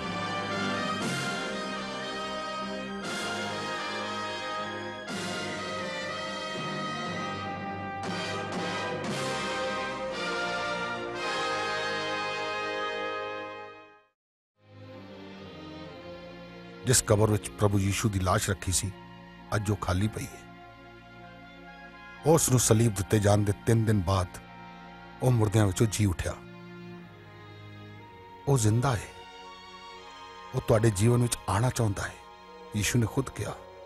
ਕਿਆਮਤ ਤੇ ਜ਼ਿੰਦਗੀ ਮੈਂ ਹੀ ਆ ਉਹ ਜਿਹੜਾ ਮੇਰੇ ਤੇ ਯਕੀਨ ਕਰਦਾ ਹੈ ਭਾਵੇਂ ਮਰ ਜਾਵੇ ਤਾਂ ਵੀ ਜਿੰਦਾ ਰਹੇਗਾ। ਜਦੋਂ ਯੀਸ਼ੂ ਮਰੇ ਹੋਇਆਂ ਵਿੱਚੋਂ ਜ਼ਿੰਦਾ ਹੋਇਆ ਉਸ ਨੂੰ ਤਕਰੀਬਨ 2000 ਸਾਲ ਹੋ ਚੁੱਕੇ ਨੇ। ਪਰ ਉਹ ਅੱਜ ਵੀ ਦੁਨੀਆ ਵਿੱਚ ਸਭ ਤੋਂ ਮਹਾਨ ਤੇ ਪਰਾਕਰਮੀ ਪ੍ਰਭਾਵ ਦੇ ਰੂਪ ਵਿੱਚ ਜ਼ਿੰਦਾ ਹੈ। ਬੀਤੀ ਸਦੀਆਂ ਦੇ ਵੱਡੇ ਵੱਡੇ ਕਮੰਡੀ ਅਹੁਦੇਦਾਰ ਆਏ ਤੇ ਚਲੇ ਗਏ। ਰਾਜੇ, ਪੰਡਤ, ਸਾਇੰਸਦਾਨ, ਦਾਰਸ਼ਨਿਕ ਤੇ ਧਰਮ ਗਿਆਨੀ ਆਏ ਤੇ ਚਲੇ ਗਏ। ਪਰ ਯਿਸੂ ਅਜੇ ਵੀ ਜਿਉਂਦਾ ਹੈ। ਜਿਹੜੇ ਵੀ ਧਰਤੀ ਤੇ ਪੈਦਾ ਹੋਏ, ਉਹਨਾਂ ਸਭ ਤੋਂ ਅਨੋਖਾ ਮਨੁੱਖ ਹੈ। ਉਸ ਦਾ ਜਨਮ ਅਨੋਖਾ ਸੀ। ਬਾਈਬਲ ਕਹਿੰਦੀ ਹੈ ਕਿ ਉਹ ਕੁਆਰੀ ਮਰੀਮ ਤੋਂ ਪੈਦਾ ਹੋਇਆ। ਉਸ ਦਾ ਜੀਵਨ ਬਿਲਕੁਲ ਵੱਖਰਾ ਸੀ। ਉਸ ਦਾ ਜੀਵਨ ਰੱਬ ਦੀ ਸ਼ਕਤੀ ਨਾਲ ਘੜਿਆ ਗਿਆ। ਉਸ ਨੇ ਬਿਨਾਂ ਪਾਪ ਕੀਤਿਆਂ ਪਵਿੱਤਰ ਜੀਵਨ ਬਸਰ ਕੀਤਾ ਅਤੇ ਵੱਡੇ ਵੱਡੇ ਚਮਤਕਾਰ ਕਰਕੇ ਵਿਖਾਏ ਜਿਹੜੇ ਕਦੇ ਕਿਸੇ ਨੇ ਨਹੀਂ ਕੀਤੇ। ਉਸ ਦੀ ਤਾਲੀਮ ਬਿਲਕੁਲ ਵੱਖਰੀ ਹੈ। ਉਹ ਉਹਨਾਂ ਸਾਰਿਆਂ ਨੂੰ ਜਿਹੜੇ ਉਸ ਨੂੰ ਆਪਣਾ ਮੁਕਤੀਦਾਤਾ ਕਬੂਲ ਕਰਦੇ ਨੇ, ਪਿਆਰ, ਮਾਫੀ ਅਤੇ ਜੀਉਣ ਦਾ ਇੱਕ ਨਵਾਂ ਢੰਗ ਦੱਸਦਾ ਹੈ। ਜਿੱਥੇ ਕਿਤੇ ਵੀ ਉਸ ਦਾ ਵਚਨ ਪਹੁੰਚਿਆ ਉੱਥੇ ਨਵਾਂ ਜੀਵਨ, ਨਵੀਂ ਆਸ਼ਾ ਅਤੇ ਜੀਵਨ ਦੇ ਨਵੇਂ ਮਕਸਦ ਨੇ ਜਨਮ ਲਿਆ। ਸਲੀਬ ਤੇ ਉਸ ਦੀ ਮੌਤ ਅਨੋਖੀ ਸੀ। 2000 ਸਾਲ ਪਹਿਲਾਂ ਕਾਇਨਾਤ ਦੇ ਰੱਬ ਨੇ ਆਪਣੇ ਇਕਲੌਤੇ ਪੁੱਤਰ ਪ੍ਰਭੂ ਯੀਸ਼ੂ ਮਸੀਹ ਨੂੰ ਸਾਰੀ ਮਨੁੱਖ ਜਾਤੀ ਦੇ ਪਾਪਾਂ ਦੀ ਕੁਰਬਾਨੀ ਲਈ ਕੱਲਿਆ। ਉਹ ਤੁਹਾਡੇ ਲਈ ਮਰਿਆ। ਉਸ ਦਾ ਫਿਰ ਜ਼ਿੰਦਾ ਹੋਣਾ ਅਜੀਬ ਹੈ। ਉਸ ਦੀ ਮੌਤ ਤੋਂ 3 ਦਿਨ ਬਾਅਦ ਦੁਨੀਆ ਦੇ ਇਤਿਹਾਸ ਵਿੱਚ ਸਭ ਤੋਂ ਅਜੀਬੋ-ਗਰੀਬ ਘਟਨਾ ਘਟੀ। ਯੀਸ਼ੂ ਮਰਿਆਂ ਵਿੱਚੋਂ ਜ਼ਿੰਦਾ ਹੋ ਉਠਿਆ। ਉਸ ਦਾ ਜਨਮ, ਜੀਵਨ, ਮੌਤ ਤੇ ਜ਼ਿੰਦਾ ਹੋਣਾ ਸਾਬਤ ਕਰਦਾ ਹੈ ਕਿ ਯੀਸ਼ੂ ਉਹੀ ਹੈ ਜਿਸ ਦਾ ਉਸਨੇ ਦਾਵਾ ਕੀਤਾ ਸੀ। ਯਾਨੀ ਰੱਬ ਦਾ ਪੁੱਤਰ ਤੇ ਸਾਰੀ ਮਨੁੱਖ ਜਾਤੀ ਦਾ ਮੁਕਤੀਦਾਤਾ। ਇਹੋ ਹੀ ਯੀਸ਼ੂ ਸੀ ਅੱਜ ਵੀ ਜਿਉਂਦਾ ਹੈ ਤੇ ਚਾਹੁੰਦਾ ਹੈ ਕਿ ਤੁਹਾਡੇ ਜੀਵਨ ਵਿੱਚ ਆਏ। ਤੁਹਾਡੇ ਪਾਪ ਬਖਸ਼ੇ ਤੇ ਭਰਪੂਰ ਜ਼ਿੰਦਗੀ ਜੀਣ ਦੀ ਸ਼ਕਤੀ ਦੇਵੇ। ਉਹਦੇ ਵਚਨ ਸੁਣੋ। ਉਹ ਸਭ ਮਿਹਨਤ ਕਰਨ ਵਾਲਿਓ ਅਤੇ ਭਾਰੀ ਬੋਝ ਥੱਲੇ ਦਬੇ ਲੋਕੋ ਮੇਰੇ ਕੋਲ ਆਓ। ਮੈਂ ਤੁਹਾਨੂੰ ਆਰਾਮ ਦਿਆਂਗਾ। ਰਾਹ ਸੱਚਾਈ ਅਤੇ ਜ਼ਿੰਦਗੀ ਮੈਂ ਵਾਂ। ਬਿਨਾ ਮੇਰੇ ਕੋਈ ਅਸਮਾਨੀ ਪਿਤਾ ਤੱਕ ਨਹੀਂ ਪਹੁੰਚ ਸਕਦਾ। ਬਾਈਬਲ ਕਹਿੰਦੀ ਏ ਕਿ ਸਭ ਨੇ ਪਾਪ ਕੀਤਾ ਏ ਤੇ ਰੱਬ ਦੇ ਜਲਾਲ ਤੋਂ ਮਹਿਰੂਮ ਨੇ। ਉਹ ਇਹ ਵੀ ਦੱਸਦੀ ਏ ਕਿ ਪਾਪ ਦੀ ਮਜ਼ਦੂਰੀ ਮੌਤ ਹੈ। ਪਰ ਰੱਬ ਦੀ ਪੇਂਟ ਸਾਡੇ ਪ੍ਰਭੂ ਯੀਸ਼ੂ ਮਸੀਹ ਦੇ ਵਸੀਲੇ ਤੋਂ ਅਨੰਤ ਜੀਵਨ ਹੈ। ਹਾਂ, ਜਦੋਂ ਪ੍ਰਭੂ ਯੀਸ਼ੂ ਮਰਿਆ, ਉਹਨੇ ਤੁਹਾਡੇ ਪਾਪਾਂ ਦਾ ਮੁੱਲ ਚੁਕਾ ਦਿੱਤਾ। ਇਸੇ ਕੜੀ ਉਹ ਤੁਹਾਡੇ ਜੀਵਨ ਵਿੱਚ ਆਉਣ ਲਈ ਤਿਆਰ ਖੜਾ ਹੈ ਵੇਖੋ ਮੈਂ ਦਿਲ ਦੇ ਦਰਵਾਜ਼ੇ ਤੇ ਖਲੋਤਾ ਦਸਤਕ ਦੇ ਰਿਹਾ ਵਾਂ। ਜੇ ਕੋਈ ਮੇਰੀ ਆਵਾਜ਼ ਨੂੰ ਸੁਣ ਕੇ ਬੂਹਾ ਖੋਲੇ, ਤਾਂ ਮੈਂ ਅੰਦਰ ਆਵਾਂਗਾ। ਉਹਦੇ ਪ੍ਰੇਮ ਤੇ ਮਾਫੀ ਨੂੰ ਅਨੁਭਵ ਕਰਨ ਲਈ ਤੇ ਅਨੰਤ ਜੀਵਨ ਪਾਉਣ ਲਈ ਤੁਹਾਨੂੰ ਯਿਸੂ ਮਸੀਹ ਨੂੰ ਰੱਬ ਦੇ ਬਲੀਦਾਨ ਵਾਂਗ ਕਬੂਲ ਕਰਨਾ ਪਵੇਗਾ। ਅਤੇ ਵਿਸ਼ਵਾਸ ਨਾਲ ਯਿਸੂ ਮਸੀਹ ਨੂੰ ਆਪਣੇ ਜੀਵਨ ਵਿੱਚ ਸੱਦਾ ਦੇਣਾ ਪਵੇਗਾ। ਜੇ ਤੁਹਾਡੇ ਦਿਲ ਦੀ ਇਹੀ ਚਾਹ ਹੈ, ਤਾਂ ਤੁਸੀਂ ਵਿਸ਼ਵਾਸ ਨਾਲ ਦੁਆ ਕਰ ਸਕਦੇ ਹੋ। ਤੇ ਯਿਸੂ ਮਸੀਹ ਤੁਹਾਡੇ ਜੀਵਨ ਵਿੱਚ ਆਵੇਗਾ। ਇਹ ਇੱਕ ਸੁਝਾਅਪੂਰਨ ਪ੍ਰਾਰਥਨਾ ਹੈ। ਇਸ ਨੂੰ ਪਹਿਲਾਂ ਮੈਂ ਕਹਾਂਗਾ। ਪ੍ਰਭੂ ਯਿਸੂ, ਮੈਨੂੰ ਤੇਰੀ ਲੋੜ ਹੈ। ਮੇਰੇ ਪਾਪਾਂ ਲਈ ਸਲੀਬ ਤੇ ਜਾਨ ਦੇਣ ਲਈ ਤੇਰਾ ਧੰਨਵਾਦ। ਮੈਂ ਆਪਣੇ ਦਿਲ ਦੇ ਦਵਾਰ ਖੋਲ ਕੇ ਤੈਨੂੰ ਆਪਣਾ ਮੁਕਤੀਦਾਤਾ ਤੇ ਪ੍ਰਭੂ ਮੰਨਦਾ ਹਾਂ।